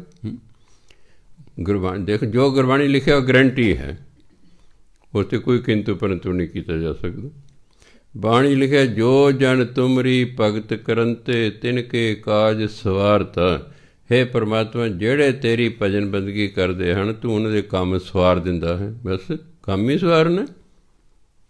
ਉਹ ਆਪੇ ਹੀ ਸਵਾਰ ਦੇਗਾ। ਪਰ ਸਾਡਾ ਕੰਮ ਤੇ ਵਾਹਿਗੁਰੂ ਵਾਹਿਗੁਰੂ ਵਾਹਿਗੁਰੂ ਵਾਹਿਗੁਰੂ ਕਰੀ ਜਾਣਾ। ਜਾਂ ਬਾਣੀ ਪੜ੍ਹੀ ਜੋ ਜਾਂ ਵਾਹਿਗੁਰੂ ਵਾਹਿਗੁਰੂ ਵਾਹਿਗੁਰੂ ਕਰੀ ਜੋ ਆਪੇ ਉਹ ਸਵਾਰ ਦੇਗਾ। ਕਿਉਂਕਿ ਜਿੰਨਾ ਚ ਅਸੀਂ ਪ੍ਰੈਕਟੀਕਲ ਕਰਕੇ ਨਹੀਂ ਵੇਖਦੇ, ਸਾਨੂੰ ਵਿਸ਼ਵਾਸ ਨਹੀਂ ਬਚਦਾ ਹੈਗਾ। ਗੁਰੂ ਨੇ ਕਿਹਾ, ਫਿਰ ਤਾਂ ਪ੍ਰੈਕਟੀਕਲ ਕਰੋ। ਉਹੀ ਨਤੀਜਾ ਨਿਕਲੂ ਜੋ ਲਿਖਿਆ ਹੋਇਆ ਹੈ। ਇੱਕ ਬੰਦਾ ਕਹਿੰਦਾ ਜੀ 10 ਸਾਲਾਂ ਤੋਂ ਮੈਂ ਤੁਹਾਡਾ ਮੇਰਾ ਸੰਪਰਕ ਹੈ ਅਮਰੀਕਾ ਦਾ ਰਹਿਣ ਵਾਲਾ। ਕਹਿੰਦਾ, ਮੇਰਾ ਹੁਣ ਦਿਮਾਗ ਪਹਿਲਾਂ ਨਾਲੋਂ ਕਿਤੇ ਤੇਜ਼ ਹੋ ਗਿਆ। ਮੈਂ ਭਰਾਵਾ ਗੁਰਬਾਣੀ ਪ੍ਰਭ ਕੈ ਸਿਮਰਨ, ਸਭ ਕੇ ਸੁਝੈ। ਹੂੰ। ਤੂੰ ਸਿਮਰਨ ਕਰ ਸਿਮਰਨ ਕਰਨ ਨਾਲ ਬੜੀ ਸੋਝੀ ਆ ਜਾਂਦੀ ਮਨੁੱਖ ਨੂੰ। ਸਭ ਕਿਸ, ਸਭ ਕਾਸੇ ਦੀ ਸੋਝੀ ਆ ਜਾਂਦੀ ਹੈ। ਪਾਸਟ ਦੀ ਪ੍ਰੈਜ਼ੈਂਟ ਦੀ ਫਿਊਚਰ ਦੀ ਸੋਝੀ ਬੰਦੇ ਨਾਲ ਸਿਮਰਨ ਕਰਨ ਵਾਲੇ ਦਿਮਾਗ ਤੇਜ਼ ਹੋ ਜਾਂਦਾ ਬੰਦੇ ਦਾ, ਹਾਂ, ਸੋਝੀ ਆਉਂਦੀ ਹੈ। ਉਹਨੂੰ ਐਡਵਾਂਸ ਪਤਾ ਲੱਗਣ ਲੱਗ ਜਾਂਦਾ ਵੀ ਆ ਹੋਊਗਾ ਆ ਹੋਊਗਾ, ਸਾਵਧਾਨ ਹੋ ਜਾਂਦਾ ਹੋ ਇਸ ਲਈ ਮੈਂ ਤੈਨੂੰ 10 ਸਾਲ ਹੋ ਗਏ, ਸਤਸੰਗ ਕਰਕੇ, ਚਾਹੇ ਟੈਲੀਫੋਨ ਰਾਹੀਂ ਤੁਸੀਂ ਕਰਦੇ ਹੋ ਤੁਹਾਨੂੰ ਸਵਜੀ ਆ ਗਈ ਵੀ ਸਿਮਰਨ ਕਰਨਾ। ਸਿਮਰਨ ਨੇ ਤੁਹਾਡੀ ਜਿਹੜਾ ਹੈ, ਬੁੱਧੀ ਤੇਜ਼ ਕਰ ਦਿੱਤੀ ਹੈ। ਆ ਕਿਸੇ ਦੇਸ਼ ਦਾ ਰਾਸ਼ਟਰਪਤੀ ਸੀ, ਮੁਸਲਮਾਨ। ਪਤਾ ਨਹੀਂ, ਸੁਦਾ, ਹਾਂਜੀ? ਸੁਦਾਮ ਸੈਨ? ਉਹ ਨਾ ਵਿਚਾਰਾ ਹਿਸਾਬ ਨਹੀਂ ਸੀ ਹੁੰਦਾ ਜੀ ਉਹਨੂੰ। ਟੀਚਰ ਕੁੱਟਦਾ ਸੀ। ਸਕੂਲੋਂ ਭੱਜਿਆ ਕਰਦਾ ਸੀ। ਜਿਹੜਾ ਉੱਥੇ ਭਾਈ ਸੀ, ਕਿਉਂਕਿ ਜਿਹੜਾ ਗੁਰੂ ਨਾਨਕ ਦੇਵ ਜੀ ਗਏ ਸਨ ਇਰਾਕ ਦੇ ਵਿੱਚ ਨਾ, ਉਹਨੇ ਦੇਖਿਆ, ਉਹ ਕਹਿੰਦੇ ਇੱਕ ਦਿਨ ਕਹਿੰਦਾ, ਕਾਕਾ ਤੂੰ ਵੀ ਇੱਥੇ ਬੈਠਾ ਰਹਿ, ਸਕੂਲ ਨਹੀਂ ਜਾਂਦਾ। ਕਹਿੰਦਾ ਜੀ, ਮੈਨੂੰ ਤਾਂ ਟੀਚਰ ਕੁੱਟਦਾ ਮੈਨੂੰ ਹਿਸਾਬ ਨਹੀਂ ਆਉਂਦਾ। ਉਹਨੇ ਉਸ ਨੂੰ ਮੂਲ ਮੰਤਰ ਦਿੱਤਾ, ਉਰਦੂ ਚ ਲਿਖ ਕੇ। ਕਹਿੰਦਾ ਪੜ ਉਹਨੇ ਪੜ੍ਹਦੇ ਇੱਕ ਓੰਕਾਰ ਤੋਂ ਲੈ ਕੇ ਗੁਰਪ੍ਰਸਾਦ ਤੱਕ। ਕਹਿੰਦਾ, ਤੂੰ ਨਾ ਰੋਜ਼ ਇੱਕ ਘੰਟਾ ਇਹਦਾ ਜਾਪ ਕਰਿਆ ਕਰ। ਤੈਨੂੰ ਟੀਚਰ ਨਹੀਂ ਕੁੱਟੇਗਾ। ਲੋ ਜੋ ਪਹਿਲੇ ਦਿਨ ਜਾਪ ਕਰਕੇ ਗਿਆ, ਟੀਚਰ ਨੂੰ ਉਸ ਨੂੰ ਕੁਝ ਨਹੀਂ ਕਿਹਾ। ਦੂਜੇ ਦਿਨ ਗਿਆ, ਟੀਚਰ ਨੇ ਉਸ ਨੂੰ ਕੁਝ ਨਹੀਂ ਕਿਹਾ। ਉਹ ਕਦਾ ਜਾਪ ਕਰਦਾ, ਉਹਨੂੰ ਇੰਨਾ ਵਿਸ਼ਵਾਸ ਹੋ ਗਿਆ। ਟੀਚਰ ਨੇ ਉਹਨੂੰ ਕੁੱਟਣਾ ਬੰਦ ਕਰਦਾ ਉਹ ਪੜ੍ਹਾਈ 'ਚ ਹੌਲੀ ਹੌਲੀ ਹੁਸ਼ਿਆਰ ਹੋ ਗਿਆ। ਹੁਸ਼ਿਆਰ ਕਹਿੰਦਾ, ਦੇਖੋ, ਉਹਨੇ ਆਪਣੇ ਡਰਾਇੰਗ ਰੂਮ ਦੇ ਵਿੱਚ ਉਹ ਲਿਖ ਕੇ ਲਾਇਆ ਹੋਇਆ ਸੀ ਮੂਲ ਮੰਤਰ। ਤੇ ਕੋਈ ਇਥੋਂ ਪੰਜਾਬ ਇੰਡੀਆ ਗਿਆ, ਉਹਨੇ ਦੇਖਿਆ ਵੀ ਕਮਾਲ ਮੁਲਾਕਾਤ ਕਰਨ। ਵੀ ਆ ਐ ਲਿਖਿਆ ਹੋਇਆ ਹੈ, ਤੁਸੀਂ? ਕਹਿੰਦੇ, ਮੇਰੇ ਨਾਲ ਆ ਗੱਲ ਹੋਈ। ਇਹਦੀ ਕਹਿੰਦੇ, ਬੜੀ ਤਾਕਤ ਹੈ। ਕਹਿੰਦੇ, ਮੈਂ ਨਲਾਇਕ ਸੀ, ਮੈਂ ਕਿੱਥੇ ਆ ਰਾਸ਼ਟਰਪਤੀ ਬਣਨਾ ਸੀ? ਕਹਿੰਦੇ, ਇਸ ਨੇ ਨਾਲੇ ਤਾਂ ਮੈਨੂੰ ਵਿੱਦਿਆ ਦਿੱਤੀ, ਨਾਲੇ ਟੀਚਰ ਤੇ ਕੁੜ ਤੋਂ ਹਟਾਤਾ। ਮੈਂ ਤਾਂ ਚੜ੍ਹਦੀਆਂ ਕਲਾਂ 'ਚ ਹੋ ਗਿਆ, ਮੈਂ ਤਾਂ ਇਹਦੇ ਹੀ ਜਾਪ ਕਰਦਾ ਰਹਿਣਾ ਇਸ ਲਈ ਮੈਂ ਲਿਖ ਕੇ ਲਾ ਰੱਖਿਆ ਹੈ। ਇਹ ਬਾਣੀ ਹੈ। ਜਿਹਦੇ ਇਹ ਨਹੀਂ ਕਿ ਬਾਣੀ ਸਿੱਖਾਂ ਲਈ ਹੈ। ਉਹ ਤੇ ਮੁਸਲਮਾਨ ਸੀ। ਇਹ ਸਰਬ ਸਾਂਝੀ ਬਾਣੀ ਹੈ। ਹਿੰਦੂ ਪੜੋ ਸਿੱਖ ਪੜੋ ਈਸਾਈ ਪੜੋ ਕੋਈ ਵੀ ਪੜੋ ਬ੍ਰਾਹਮਣ ਪੜੋ ਖੱਤਰੀ ਪੜੋ ਵੈਸ਼ ਪੜੋ ਸ਼ੂਦਰ ਪੜੋ ਭਾਵੇਂ ਚੰਡਾਲ ਪੜੋ ਬਾਣੀ ਜੋ ਵੀ ਪੜੇਗਾ ਉਹਦਾ ਭਲਾ ਹੋਵੇਗਾ। ਇਹ ਦਿਨ ਦਾ ਭਲਾ ਕਰਨਾ। ਗੁਰੂ ਮਹਾਰਾਜ, ਐਸੀ ਚੀਜ਼ ਸਾਡੇ ਲਈ ਲਿਖ ਕੇ ਚਲੇ ਗਏ ਨੇ। ਇਹ ਤਾਂ ਸਾਡੀ ਬਦ ਕਿਸਮਤੀ ਹੈ ਕਿਸੇ ਲਾਭ ਹੀ ਨਹੀਂ ਉਠਾਉਂਦੇ। ਸਾਨੂੰ ਸ਼ਰਾਬਾਂ ਪੀਣ ਤੋਂ, ਨਸ਼ਿਆਂ ਤੋਂ ਤੇ ਪੁੱਠੇ ਕੰਮਾਂ ਤੋਂ ਵੇਲ ਨਹੀਂ, ਬਾਣੀ ਕਿੰਨੇ ਪੜਨੀ ਬਾਣੀ ਕਿੰਨੇ ਪੜਨੀ ਸਾਡੇ ਰਿਸ਼ਤੇਦਾਰ ਖੰਡ ਪਾਠ ਰਖਾ ਲੈ। ਮੈਨੂੰ ਕਹੇ, ਤੁਸੀਂ ਇਹ ਕਥਾ ਵਾਰਤਾ ਕਰ ਦਿਓ, ਮੈਂ ਚਲਾ ਗਿਆ। ਉਹ ਭਾਈ ਪਾਠ ਕਰ ਮੈਂ ਤਾਂ ਕੱਖ ਵੀ ਨਹੀਂ ਹੁੰਦਾ ਇਹ ਸੋਚਦੇ ਵੀ ਇਹਨਾਂ ਨੂੰ ਕਿਹੜਾ ਕੁਝ ਹੁੰਦਾ ਜੋ ਮਰਜ਼ੀ ਪੜੀ ਜੋ ਹੁਣ ਅੱਗੇ ਕੀ ਪਤਾ ਸੀ ਵੀ ਸੰਤ ਦੇ ਨਾਲ ਬੈਠੇ ਵਿੱਚ। ਕੁਝ ਵੀ ਨਹੀਂ ਹੁੰਦਾ ਮੈਂ ਮੈਂ ਅੱਗੇ ਤਾਂ ਨਹੀਂ ਸੀ ਖੰਡ ਪੜ ਕਰਾਣਾ ਇਹਨਾਂ ਨੂੰ ਤਾਂ ਕੁਝ ਆਉਂਦਾ ਹੀ ਨਹੀਂ ਹੈ। ਇਹ ਗਲਤ ਬਲਤ ਪੜਦਾ ਕੀ ਕਰਾਓਗੇ? ਇਹ ਤੁਸੀਂ ਆਪ ਹੀ ਪਹਿਲੇ ਕਰੋ। ਤੁਹਾਨੂੰ ਨਿਤਨੇਮ ਆਉਂਦੇ ਨਾ ਮਮਨ ਨਿਤਨੇਮ ਹੀ ਕਰ ਕਰ, ਬੈਠ ਕੇ ਬਸ ਇਹ ਨਹੀਂ ਬਹੁਤ ਹੈ। ਬਸ ਚੱਲ ਰਿਹਾ ਹੈ। ਤੋ ਇਸ ਲਈ ਹੈ ਸ਼ੌਕ ਹੀ ਨਹੀਂ ਵੀ ਅਸੀਂ ਕੋਈ ਚੀਜ਼ ਸਿੱਖ ਲਈਏ, ਕੋਈ ਮਿਹਨਤ ਕਰ ਲਈਏ ਨਾ। ਕਿਤਾਬ ਡੇਢ ਸਾਲ ਲਾ ਕੇ ਮੈਂ ਕਿਤਾਬ ਲਿਖੀ। ਤੁਹਾਡੇ ਜੋ ਕਿੰਨੇ ਕਿੰਨੇ ਜਿਹੜੇ ਕਿਤਾਬ ਰੱਖ ਕੇ ਪਾਠ ਕੀਤਾ ਹੋਊਗਾ ਸਹਿਜ ਪਾਠ? ਨਾ, ਕੋਈ ਵੀ ਨਹੀਂ ਕਿਸੇ ਸਹਿਜ ਪਾਠ ਕੀਤਾ ਕੀ ਕਨੇ ਕਦਾ ਕਿਸੇ ਕੀਤਾ ਹੋਵੇ ਵੀ ਕਿਤਾਬ ਰੱਖ ਕੇ ਤੇ ਫਿਰ ਉਹਦੇ ਅਨੁਸਾਰ ਸਹਿਜ ਪਾਠ ਕੀਤਾ ਹੋਵੇ ਨਾ। ਹੈ ਹੀ ਨਹੀਂ, ਸ਼ੌਕ ਹੀ ਨਹੀਂ ਹੈ। ਕਿਉਂਕਿ ਮਿਹਨਤ ਕਰਨੀ ਪੈਂਦੀ ਹੈ। ਤੇ ਬੰਦਾ ਠੂੰ ਠੱਪ ਜੇ ਕਰਨ ਵਾਲਾ, ਮਿਹਨਤ ਮੁੰਤਲ ਤੇ ਆਦਤ ਹੀ ਖਤਮ ਹੋ ਗਈ ਹੈ। ਇਹੀ ਕਾਰਨ ਹੈ ਕਿ ਪੰਜਾਬ ਦੇ ਨੂੰ ਕੋਈ ਵੱਡੀ ਅਫਸਰੀ ਨਹੀਂ ਮਿਲ ਰਹੀ। ਨਹੀਂ ਤਾਂ ਪੰਜਾਬ ਦੇ ਲੋਕ ਸਾਰੇ ਹਿੰਦੁਸਤਾਨ ਵੱਡੇ ਵੱਡੇ ਅਫਸਰ ਲੱਗੇ ਹੋਏ ਸਨ। ਹੁਣ ਅਸੀਂ ਖੋਰ ਮਾਲ ਜਿਹਾ ਇਕੱਠਾ ਹੋ ਗਏ ਹਾਂ। ਹੁਣ ਬਿਹਾਰ ਵਾਲੇ ਆ ਗਏ ਨੇ। ਡੀਸੀ ਵੀ ਹੋ ਤੇ ਐਸਐਸਪੀ ਵੀ ਹੋ ਤੇ ਬੈਂਕਾਂ ਦੇ ਮੈਨੇਜਰ ਵੀ ਹੋ ਕਿਉਂ? ਅਸੀਂ ਕਿੱਥੇ ਗਏ? ਅਸੀਂ ਫੌਰਨ ਜੋਗੇ ਰਹਿ ਗਏ ਵੀ ਜੋ ਜਾ ਕੇ ਤੇ ਦਿਹਾੜੀਆਂ ਕਰੋ, ਤੁਸੀਂ ਬਸਾਂ, ਲੇਬਰ ਦੇ ਹੀ ਹੋ ਗਈ ਹੋ। ਸਾਡੇ ਅੰਦਰ ਹੈ ਹੀ ਨਹੀਂ, ਅਸੀਂ ਕੋਈ ਮਾਲਕ ਬਣੀ ਕੋਈ ਅਫਸਰ ਬਣੀ ਨਾ। ਬਸ, ਅਸੀਂ ਤਾਂ ਲੇਬਰ ਕਰਨ ਬੜੇ ਚਲੋ ਜੀ, ਬਾਹਰ ਨੂੰ। ਮਾਂ ਨਾਲ ਭਾਂਡੇ ਮੰਜਵਾਣੇ ਨਹੀਂ, ਬਗਾਨਿਆਂ ਦੇ ਮਾਂਜੀ ਜਾਣੇ। ਫਿਰ ਮਾਮਾ ਨੂੰ ਮੈਂ ਕਹਿੰਨੇ ਬਗਾਨੇ ਦੇ ਭਾਂਡੇ ਪੰਜਾ ਪਤਾ ਕਿਉਂ ਮਾਂਜਦੇ ਨੇ? ਪੈਸੇ ਮਿਲਦੇ ਨੇ। ਤੁਸੀਂ ਜਵਾਕ ਨੂੰ ਪੈਸੇ ਦੇ, ਤੁਸੀਂ ਜ਼ਰੂਰੀ ਪੈਸੇ ਵਾਲੀ ਰੱਖਣੀ ਹੈ, ਨੌਕਰਾਣੀ। ਆਪਣੇ ਜਵਾਕਾਂ ਨੂੰ ਪੈਸੇ ਦੇ ਦਿਓ ਇਹਨਾਂ ਦਾ ਕੰਮ ਕਰਾਓ। ਤੁਸੀਂ ਨੌਕਰਾਨੀ ਉਹਨੂੰ ਪੈਸੇ ਦਿੰਦੇ ਹੋ ਕਿ ਨਹੀਂ? ਉਨੇ ਪੈਸੇ ਤੁਸੀਂ ਆਪਣੇ ਜਵਾਕ ਨੂੰ ਦੇ ਲੈ ਤੂੰ ਕਾਕਾ ਝਾੜੂ ਫਿਰ ਤੈਨੂੰ ਇੰਨੇ ਪੈਸੇ ਮਿਲਣਗੇ। ਤੂੰ ਪੋਚਾ ਫਿਰ ਤੈਨੂੰ ਇੰਨੇ ਪੈਸੇ ਮਿਲਣਗੇ। ਤੂੰ ਆ ਕਮਰੇ ਸਫ਼ਾਈ ਕਰ ਤੈਨੂੰ ਇੰਨੇ ਪੈਸੇ ਮਿਲਣਗੇ। ਪੈਸਿਆਂ ਦੀ ਖਤਰ ਬੱਚਾ ਲੱਗ ਜਾਏਗਾ। ਪੈਸੇ ਤਾਂ ਤਾਕਤ ਹੀ ਇੰਨੀ ਹੈ। ਉਹ ਦੋ ਬੰਦਿਆਂ ਨੇ ਸਾਰਾ ਹਿੰਦੁਸਤਾਨ ਹੀ ਖਰੀਦ ਲਿਆ। ਮਾਇਆ ਚ ਨਹੀਂ ਤਾਕਤ ਹੈ। ਤੁਹਾਡੇ ਬੱਚਾ ਕਿਦਾ ਵਿਚਾਰਾ ਪੈਸੇ ਦੇ ਬੱਚੇ ਜੋ ਮਰਜ਼ੀ ਕਰਾ ਲਓ। ਤੁਸੀਂ ਆਪਣਿਆਂ ਤੋਂ ਕੁਝ ਕਰਾਣਾ ਨਹੀਂ, ਨੌਕਰਾਣੀਆਂ ਰੱਖੀਆਂ ਹੋਈਆਂ ਨੇ। ਉਹ ਆਪਣੇ ਤੋਂ ਹੀ ਕਰਾ ਲੋ ਬਾਅਦ ਚ ਉਹਨਾਂ ਕੋਈ ਨਹੀਂ ਕਰਨਾ, ਜੋ ਵਿਹਲੇ ਰਹਿਣ ਗਿੱਜ ਗਏ ਨਾ, ਉਹਨਾਂ ਤੁਹਾਡੇ ਨੱਕ ਹੀ ਦਮ ਕਰੀ ਰੱਖਣਾ ਹੈ ਇੱਕ ਮਾਂ ਮੇਰੇ ਕੋਲੇ, ਬਾਬਾ ਜੀ, ਸਾਡਾ ਮੁੰਡਾ 6 ਫੁੱਟ ਲੰਮੇ ਕੱਦ ਦਾ ਹੈ ਸ਼ਰਾਬ ਪੀਂਦਾ ਮੈਨੂੰ ਕੋਈ 500 ਰੁਪਇਆ ਦੇ। ਮੈਂ ਕਿਹਾ ਵੀ ਮਰ ਜਾਣੇ, ਤੂੰ ਕੱਲ ਲੈ, ਉਹ ਤੇ ਕੱਲ ਲਿਆ ਸੀ, ਅੱਜ ਦੇ। ਜੇ ਮੈਂ ਨਹੀਂ ਦਿੰਦੇ, ਆਪੇ ਪਰਸ ਖੋਲ ਕੇ 500 ਵਿੱਚੋਂ ਕੱਢ ਲੈਂਦੇ। ਕੱਢ ਲੈਂਦੇ। ਮੈਂ ਤੁਸੀਂ ਪੁੱਛ ਪੁੱਛ ਕਰਕੇ ਇਹਨਾਂ ਨੂੰ ਵਿਗਾੜਿਆ ਹੋਇਆ ਹੈ ਵੀ ਇਹ ਮੁੰਡਾ ਹੈ। ਇਹ 12 ਵਜੇ ਰਾਤ ਨੂੰ ਵਾਰਾਗਰਦੀ ਕਰ ਸਕਦਾ ਹੈ। ਕੁੜੀ ਨੂੰ ਨਹੀਂ ਕਰਨ ਦਿੰਦੇ ਵਾਰਾਗਰਦੀ 12 ਵਜੇ ਤੱਕ ਰਾਤ ਦੇ ਉਹਦੇ ਕੋਲ ਉਹਦੇ ਲਈ ਅੱਡ ਕਾਨੂੰਨ ਹੈ? ਉਹਦੇ ਲਈ ਰਾਤ ਪੈ ਗਈ ਹੈ। ਚਲੋ ਘਰ ਬੈਠੋ, ਮੁੰਡੇ ਲਈ ਰਾਤ ਨਹੀਂ ਪਈ। ਤੁਸੀਂ ਆਪ ਆਪਣੇ ਜਵਾਕਾਂ ਨੂੰ ਵਿਗਾੜਦੇ ਹੋ ਮੁੰਡੇ ਨੂੰ ਖੁੱਲ ਦੇ ਕੇ ਉਹ ਵਾਰਾਗਰ ਜਿੰਨਾ ਬੰਦਾ ਘਰੋਂ ਬਾਹਰ ਰਹੇਗਾ, ਉਹਨੇ ਉਹ ਵਿਗੜੇਗਾ। ਮੈਂ ਦਾਅਵੇ ਨਾਲ ਕਹਿੰਦਾ। ਚਾਹੇ ਤੁਹਾਡਾ ਘਰ ਵਾਲਾ ਹੈ, ਚਾਹੇ ਤੁਹਾਡੀ ਘਰ ਵਾਲੀ ਚਾਹੇ ਤੁਹਾਡਾ ਪੁੱਤਰ ਹੈ, ਚਾਹੇ ਤੁਹਾਡੀ ਧੀ ਹੈ, ਜਿੰਨਾ ਜ਼ਿਆਦਾ ਬਾਹਰ ਰਹੇਗਾ, ਉਹ ਵਿਗੜੇਗਾ ਹੀ ਵਿਗੜੇਗਾ। ਤੇ ਉਹਦੇ ਤੁਸੀਂ ਜ਼ਿੰਮੇਵਾਰ ਹੋ। ਤੁਸੀਂ ਉਹਨੇ ਵਿਗਾੜ ਵਿਗਾੜਦੇ ਪੁੱਛ ਪੁੱਛ ਕਰਦੇ ਮੁੰਡਾ ਹੈ ਅਸਮਾਨੋਂ ਡਿੱਗਿਆ ਹੋਇਆ ਮੁੰਡਾ ਉਹ। ਕਬੀਰ ਸਾਹਿਬ ਕਹਿੰਦੇ, ਤੂੰ ਪੰਡਤ ਨੂੰ ਕਹੇ ਤੂੰ ਅਸਮਾਨੋਂ ਡਿੱਗਿਆ ਹੈ। ਜਿਸ ਰਾਹ ਮੈਂ ਪੈਦਾ ਹੋਇਆ ਮਾਂ ਦੇ ਪੇਟ 'ਚ, ਉਸੇ ਰਾਹ ਤੂੰ ਪੈਦਾ ਹੋਇਆ। ਤੂੰ ਤੂੰ ਕਿੱਥੋਂ ਡਿੱਗਿਆ ਤੂੰ ਕਿੱਥੇ ਦੁੱਧ ਤੇ ਮੈਂ ਕਿੱਥੇ ਕੰਦੇ ਕਾਲਾ ਹਾਂ ਜੀ? ਸਾ, ਇਸ ਲਈ ਠੀਕ ਵਿਹਾਰ, ਬਰਾਬਰ ਦਾ ਵਿਹਾਰ ਕਰੋ ਲੜਕੇ ਲੜਕੀ ਨਾਲ ਅਤੇ ਫਜ਼ੂਲ ਦੀ ਆਵਾਰਾਗਰਦੀ ਮਤ ਕਰਨ ਦਿਓ ਉਹਨਾਂ ਨੂੰ। ਗਲਤ ਕੰਮਾਂ 'ਚ ਉਹਨਾਂ ਦਾ ਕਦੇ ਸਾਥ ਨਾ ਦਿਓ। ਪੈ ਲੈਣ ਦੇ ਕੁੱਟ ਜੇ ਪੈਂਦੀ, ਥਾਣੇ ਜੇ ਕੁੱਟ ਵੀ ਪੈਣ, ਪੈ ਲੈਣ ਦੇ ਇੱਕ ਦੋ ਦਿਨ, ਹਾਂਜੀ। ਆਪੇ ਠੀਕ ਹੋ ਜਾਣਗੇ। ਤੁਸੀਂ ਭੱਜੇ ਫਿਰਦੇ ਹੋ, ਉਹਨਾਂ ਨੂੰ ਛਡਾ ਨਕਲਾਂ ਮਰਵਾਉਂਦੇ ਨੇ ਮਾਪਿਓ ਜਾ ਕੇ। ਉਹਨੇ ਅੰਦਰ ਵਿਦਿਆਰਥੀ ਨਹੀਂ ਹੁੰਦੇ, ਜਿੰਨੇ ਬਾਹਰ ਨਕਲਾਂ ਮਰਵਾਉਣ ਵਾਲੇ ਖੜੇ ਹੁੰਦੇ ਨੇ। ਅਸੀਂ 37 ਸਾਲਾਂ ਹੀ ਤਮਾਸ਼ਾ ਵੇਖਦੇ ਰਹੇ। ਮੈਂ ਦੱਸ ਐ ਸੂਏ ਖੋਤੀ ਕਿੱਲੇ ਕੁਮਿਆਰ ਜ਼ੋਰ ਕੁਮਿਆਰ ਦਾ ਲੱਗ ਰਿਹਾ ਸੂ ਖੋਤੀ ਨਹੀਂ ਐ ਊਠ ਨਾ ਕੁੱਦਨ ਕੁੱਦਨ ਬੋਰੇ।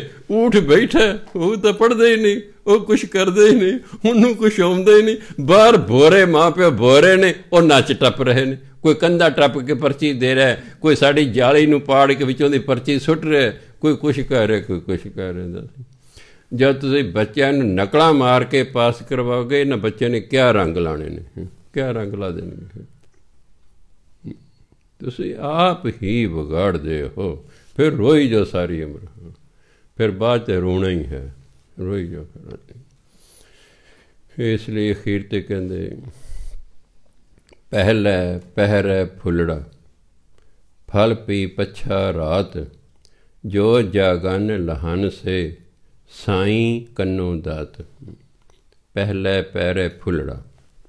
ਜਿਹੜਾ ਪਹਿਲੇ ਪਹਿਰ ਜਾਗਦਾ ਰਾਤ ਦੇ 4 ਪਹਿਰ ਗਿਣੇ ਗਏ ਨੇ। 4 ਪਹਿਰ ਦਿਨ ਦੇ 4 ਪਹਿਰ 3 ਘੰਟੇ ਨੂੰ ਇੱਕ ਪਹਿਰ ਕਹਿੰਦੇ ਨੇ। ਸ਼ਾਮ ਨੂੰ 6 ਵਜੇ ਤੋਂ ਲੈ ਕੇ 9 ਵਜੇ ਤੱਕ ਪਹਿਲਾ ਪਹਿਰ 9 ਤੋਂ 12 ਤੱਕ ਦੂਸਰਾ ਪਹਿਰ 12 ਤੋਂ 3 ਤੱਕ ਤੀਸਰਾ ਪਹਿਰ 3 ਤੋਂ 6 ਵਜੇ ਤੱਕ ਚੌਥਾ ਪਹਿਰ। ਜਿਹੜਾ 6 ਵਜੇ ਤੋਂ ਲੈ ਕੇ 9 ਵਜੇ ਦੇ ਵਿੱਚ ਵਿੱਚ ਭਜਨ ਬੰਦਗੀ ਕਰਦੇ ਕਹਿੰਦੇ ਐ ਸਮਝੋ ਉਹਨੂੰ ਫੁੱਲ ਮਿਲ ਗਿਆ ਹੈ। ਫਲ ਪੀ ਪਛਾ ਰਾਤ।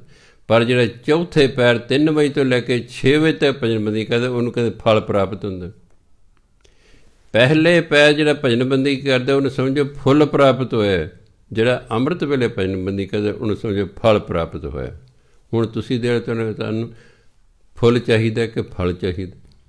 ਤੇ ਜੇ ਨਹੀਂ ਕਰਨ ਤਾਂ ਫੁੱਲ ਵੀ ਨਹੀਂ ਮਿਲਦਾ। ਉਹਨਾਂ ਦੇ ਕੰਡੇ ਮਿਲਣਗੇ, ਤੇਰੇ ਹਿੱਸੇ ਕੰਡੇ ਫੁੱਲ ਦਾ ਲੈ ਕੇ ਦੂਜੇ ਫਲ ਵੀ ਲੈ ਗਏ। ਪਹਿਲੇ ਪੈਰੇ ਫੁੱਲੜਾ ਫਲ ਪੀ ਪਛਾ ਰਾਤ ਪਛਾ ਰਾਤ ਪਿਛਲੀ ਰਾਤ ਫਲ ਮਿਲਦਾ ਭਜਨ ਬੰਦਗੀ ਕੀਤੇ ਪਹਿਲੇ ਪੈਰ ਜੇ ਭਜਨ ਬੰਦੀ ਕਰ, ਐ ਸੋਏ ਤੈਨੂੰ ਫੁੱਲ ਮਿਲਿਆ। ਜੋ ਜਾਗਨ ਲਹਾਨ ਸੇ, ਸਾਈ ਕੰਨੋਂ ਦਾ, ਸਾਈ ਮੈਨੇ ਪ੍ਰਮਾਤਮਾ, ਕੰਨੋਂ ਮੈਨੇ ਕੋਲੋਂ। ਜਿਹੜੇ ਜਾਗਦੇ ਹਨ, ਹੁਣ ਜਿਹੜੇ ਜਾਗਦੇ ਨੇ ਅੰਮ੍ਰਿਤ ਵੇਲੇ ਉੱਠ ਕੇ, ਉਹੀ ਪਰਮਾਤਮਾ ਤੋਂ ਨਾਮ ਦੀ ਦਾਤ ਪ੍ਰਾਪਤ ਕਰਦੇ ਨੇ। ਜੋ ਜਾਗਣ ਕੋ ਨਾ ਮਿਲ ਗਿਆ ਸੁੱਤਿਆਂ ਨੂੰ ਕੀ ਮਿਲਣਾ? ਸੁੱਤਿਆਂ ਨੂੰ ਕੁਛ ਨਹੀਂ ਮਿਲਦਾ। ਸੁੱਤਿਆਂ ਮਿਲਣਾ ਭਾਉ ਸੁੱਤਿਆਂ ਨੂੰ ਤਾਂ ਹਿੱਸਾ ਮਿਲਦਾ ਹੀ ਨਹੀਂ ਹੈ। ਇਸ ਲਈ ਜਿਹੜੇ ਜਾਗਦੇ ਨੇ, ਉਹ ਪਰਮਾਤਮਾ ਦੇ ਕੋਲੋਂ ਨਾਮ ਦੀ ਦਾਤ ਪ੍ਰਾਪਤ ਕਰਦੇ ਹਨ। ਤੇ ਨਾਮ ਦੀ ਦਾਤ ਸਭ ਤੋਂ ਵੱਡੀ ਦਾਤ ਹੈ। ਜਿਵੇਂ ਸਿਆਣੇ ਕਹਿੰਦੇ ਨਾ, ਹਾਥੀ ਦੇ ਪੈੜ ਵਿੱਚ ਸਾਰੀਆਂ ਪੈੜਾਂ ਜਿਹਨੂੰ ਨਾਮ ਦੀ ਦਾਤ ਮਿਲ ਗਈ, ਸਮਝ ਉਹਨੂੰ ਸੰਸਾਰ ਦੀਆਂ ਸਾਰੀਆਂ ਦਾਤਾਂ ਆਪਣੇ ਆਪ ਹੀ ਮਿਲ ਗਈਆਂ। ਕਿਉਂਕਿ ਨਾਮ ਜਪਣ ਨਾਲ ਸਾਨੂੰ ਦਾਤਾ ਹੀ ਮਿਲ ਜਾਣਾ। ਤੇ ਜਦੋਂ ਦਾਤਾ ਹੀ ਮਿਲ ਗਿਆ ਸਭੇ ਥੋਕ ਪ੍ਰਾਪਤੇ ਜਾਂ ਆਵੇ ਇੱਕ ਹੱਥ। ਕਹਿੰਦਾ ਹੱਥ ਜਦੋਂ ਇੱਕ ਪਰਮਾਤਮਾ ਹੀ ਆ ਗਿਆ, ਵਸਤੂਆਂ ਤੇ ਆਪੇ ਸਾਰੇ ਮਿਲ ਗਈਆਂ। ਚੀਜ਼ਾਂ ਤੇ ਆਪੇ ਸਾਰੀ ਮਿਲ ਗਈਆਂ।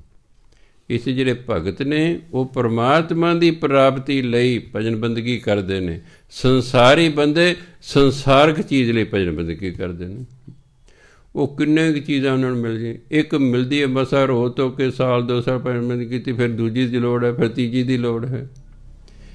ਸੰਸਾਰੀ ਦੀ ਸੋਚ ਇੱਥੋਂ ਤੱਕ ਹੀ ਬਸ ਇੰਨਾ ਕੁ ਮਿਲਣਾ ਚਾਹੀਦਾ। ਭਗਤ ਕਹਿੰਦਾ ਵੀ ਜਿਹੜਾ ਦਾਤਾ ਹੈ, ਉਹਨੂੰ ਹੀ ਪ੍ਰਾਪਤ ਕਰ ਲਓ। ਦਾਤਾ ਤੇ ਆਪੇ ਆ ਜਾਣਗੇ ਉਹਦੀ ਸੋਚ ਉੱਚੀ ਹੈ। ਵੀ ਬਜਾਏ ਦਾਤਾ ਮੰਗਣ ਨਾਲ ਦਾਤਾ ਹੀ ਮੰਗ ਲੋ ਦਾਤਾ ਆ ਗਿਆ ਤੇ ਉਹ ਤਾਂ ਦਾਤਾ ਹੈ। ਦਾਤਾ ਸਾਰੀਆਂ ਆਪਣੇ ਆਪ ਹੀ ਮਨੁੱਖ ਨੂੰ ਪ੍ਰਾਪਤ ਹੋ ਜਾਣਗੀਆਂ। ਇਸ ਲਈ ਕਹਿੰਦੇ ਭਾਈ, ਠੀਕ ਹੈ, ਜੇ ਕੋਈ 6 ਤੋਂ 9 ਦੇ ਵਿੱਚ ਹੀ ਭਜਨ ਬੰਦਗੀ ਕਰਦੇ ਤਾਂ ਵੀ ਚੰਗੀ ਗੱਲ ਹੈ। ਫੁੱਲ ਪ੍ਰਾਪਤ ਹੋ ਗਏ। ਜਿਹੜਾ ਪਿਛਲੀ ਰਾਤ ਜਾਗਦਾ ਉਹਨੂੰ ਫਿਰ ਫਲ ਪ੍ਰਾਪਤ ਹੁੰਦਾ ਇਸ ਲਈ ਜਿਹੜੇ ਜਾਗਦੇ ਰਹਿੰਦੇ ਨੇ, ਉਹੀ ਪਰਮਾਤਮਾ ਦੇ ਦਰ ਤੋਂ ਦਾਤਾਂ ਪ੍ਰਾਪਤ ਕਰਦੇ ਹਨ।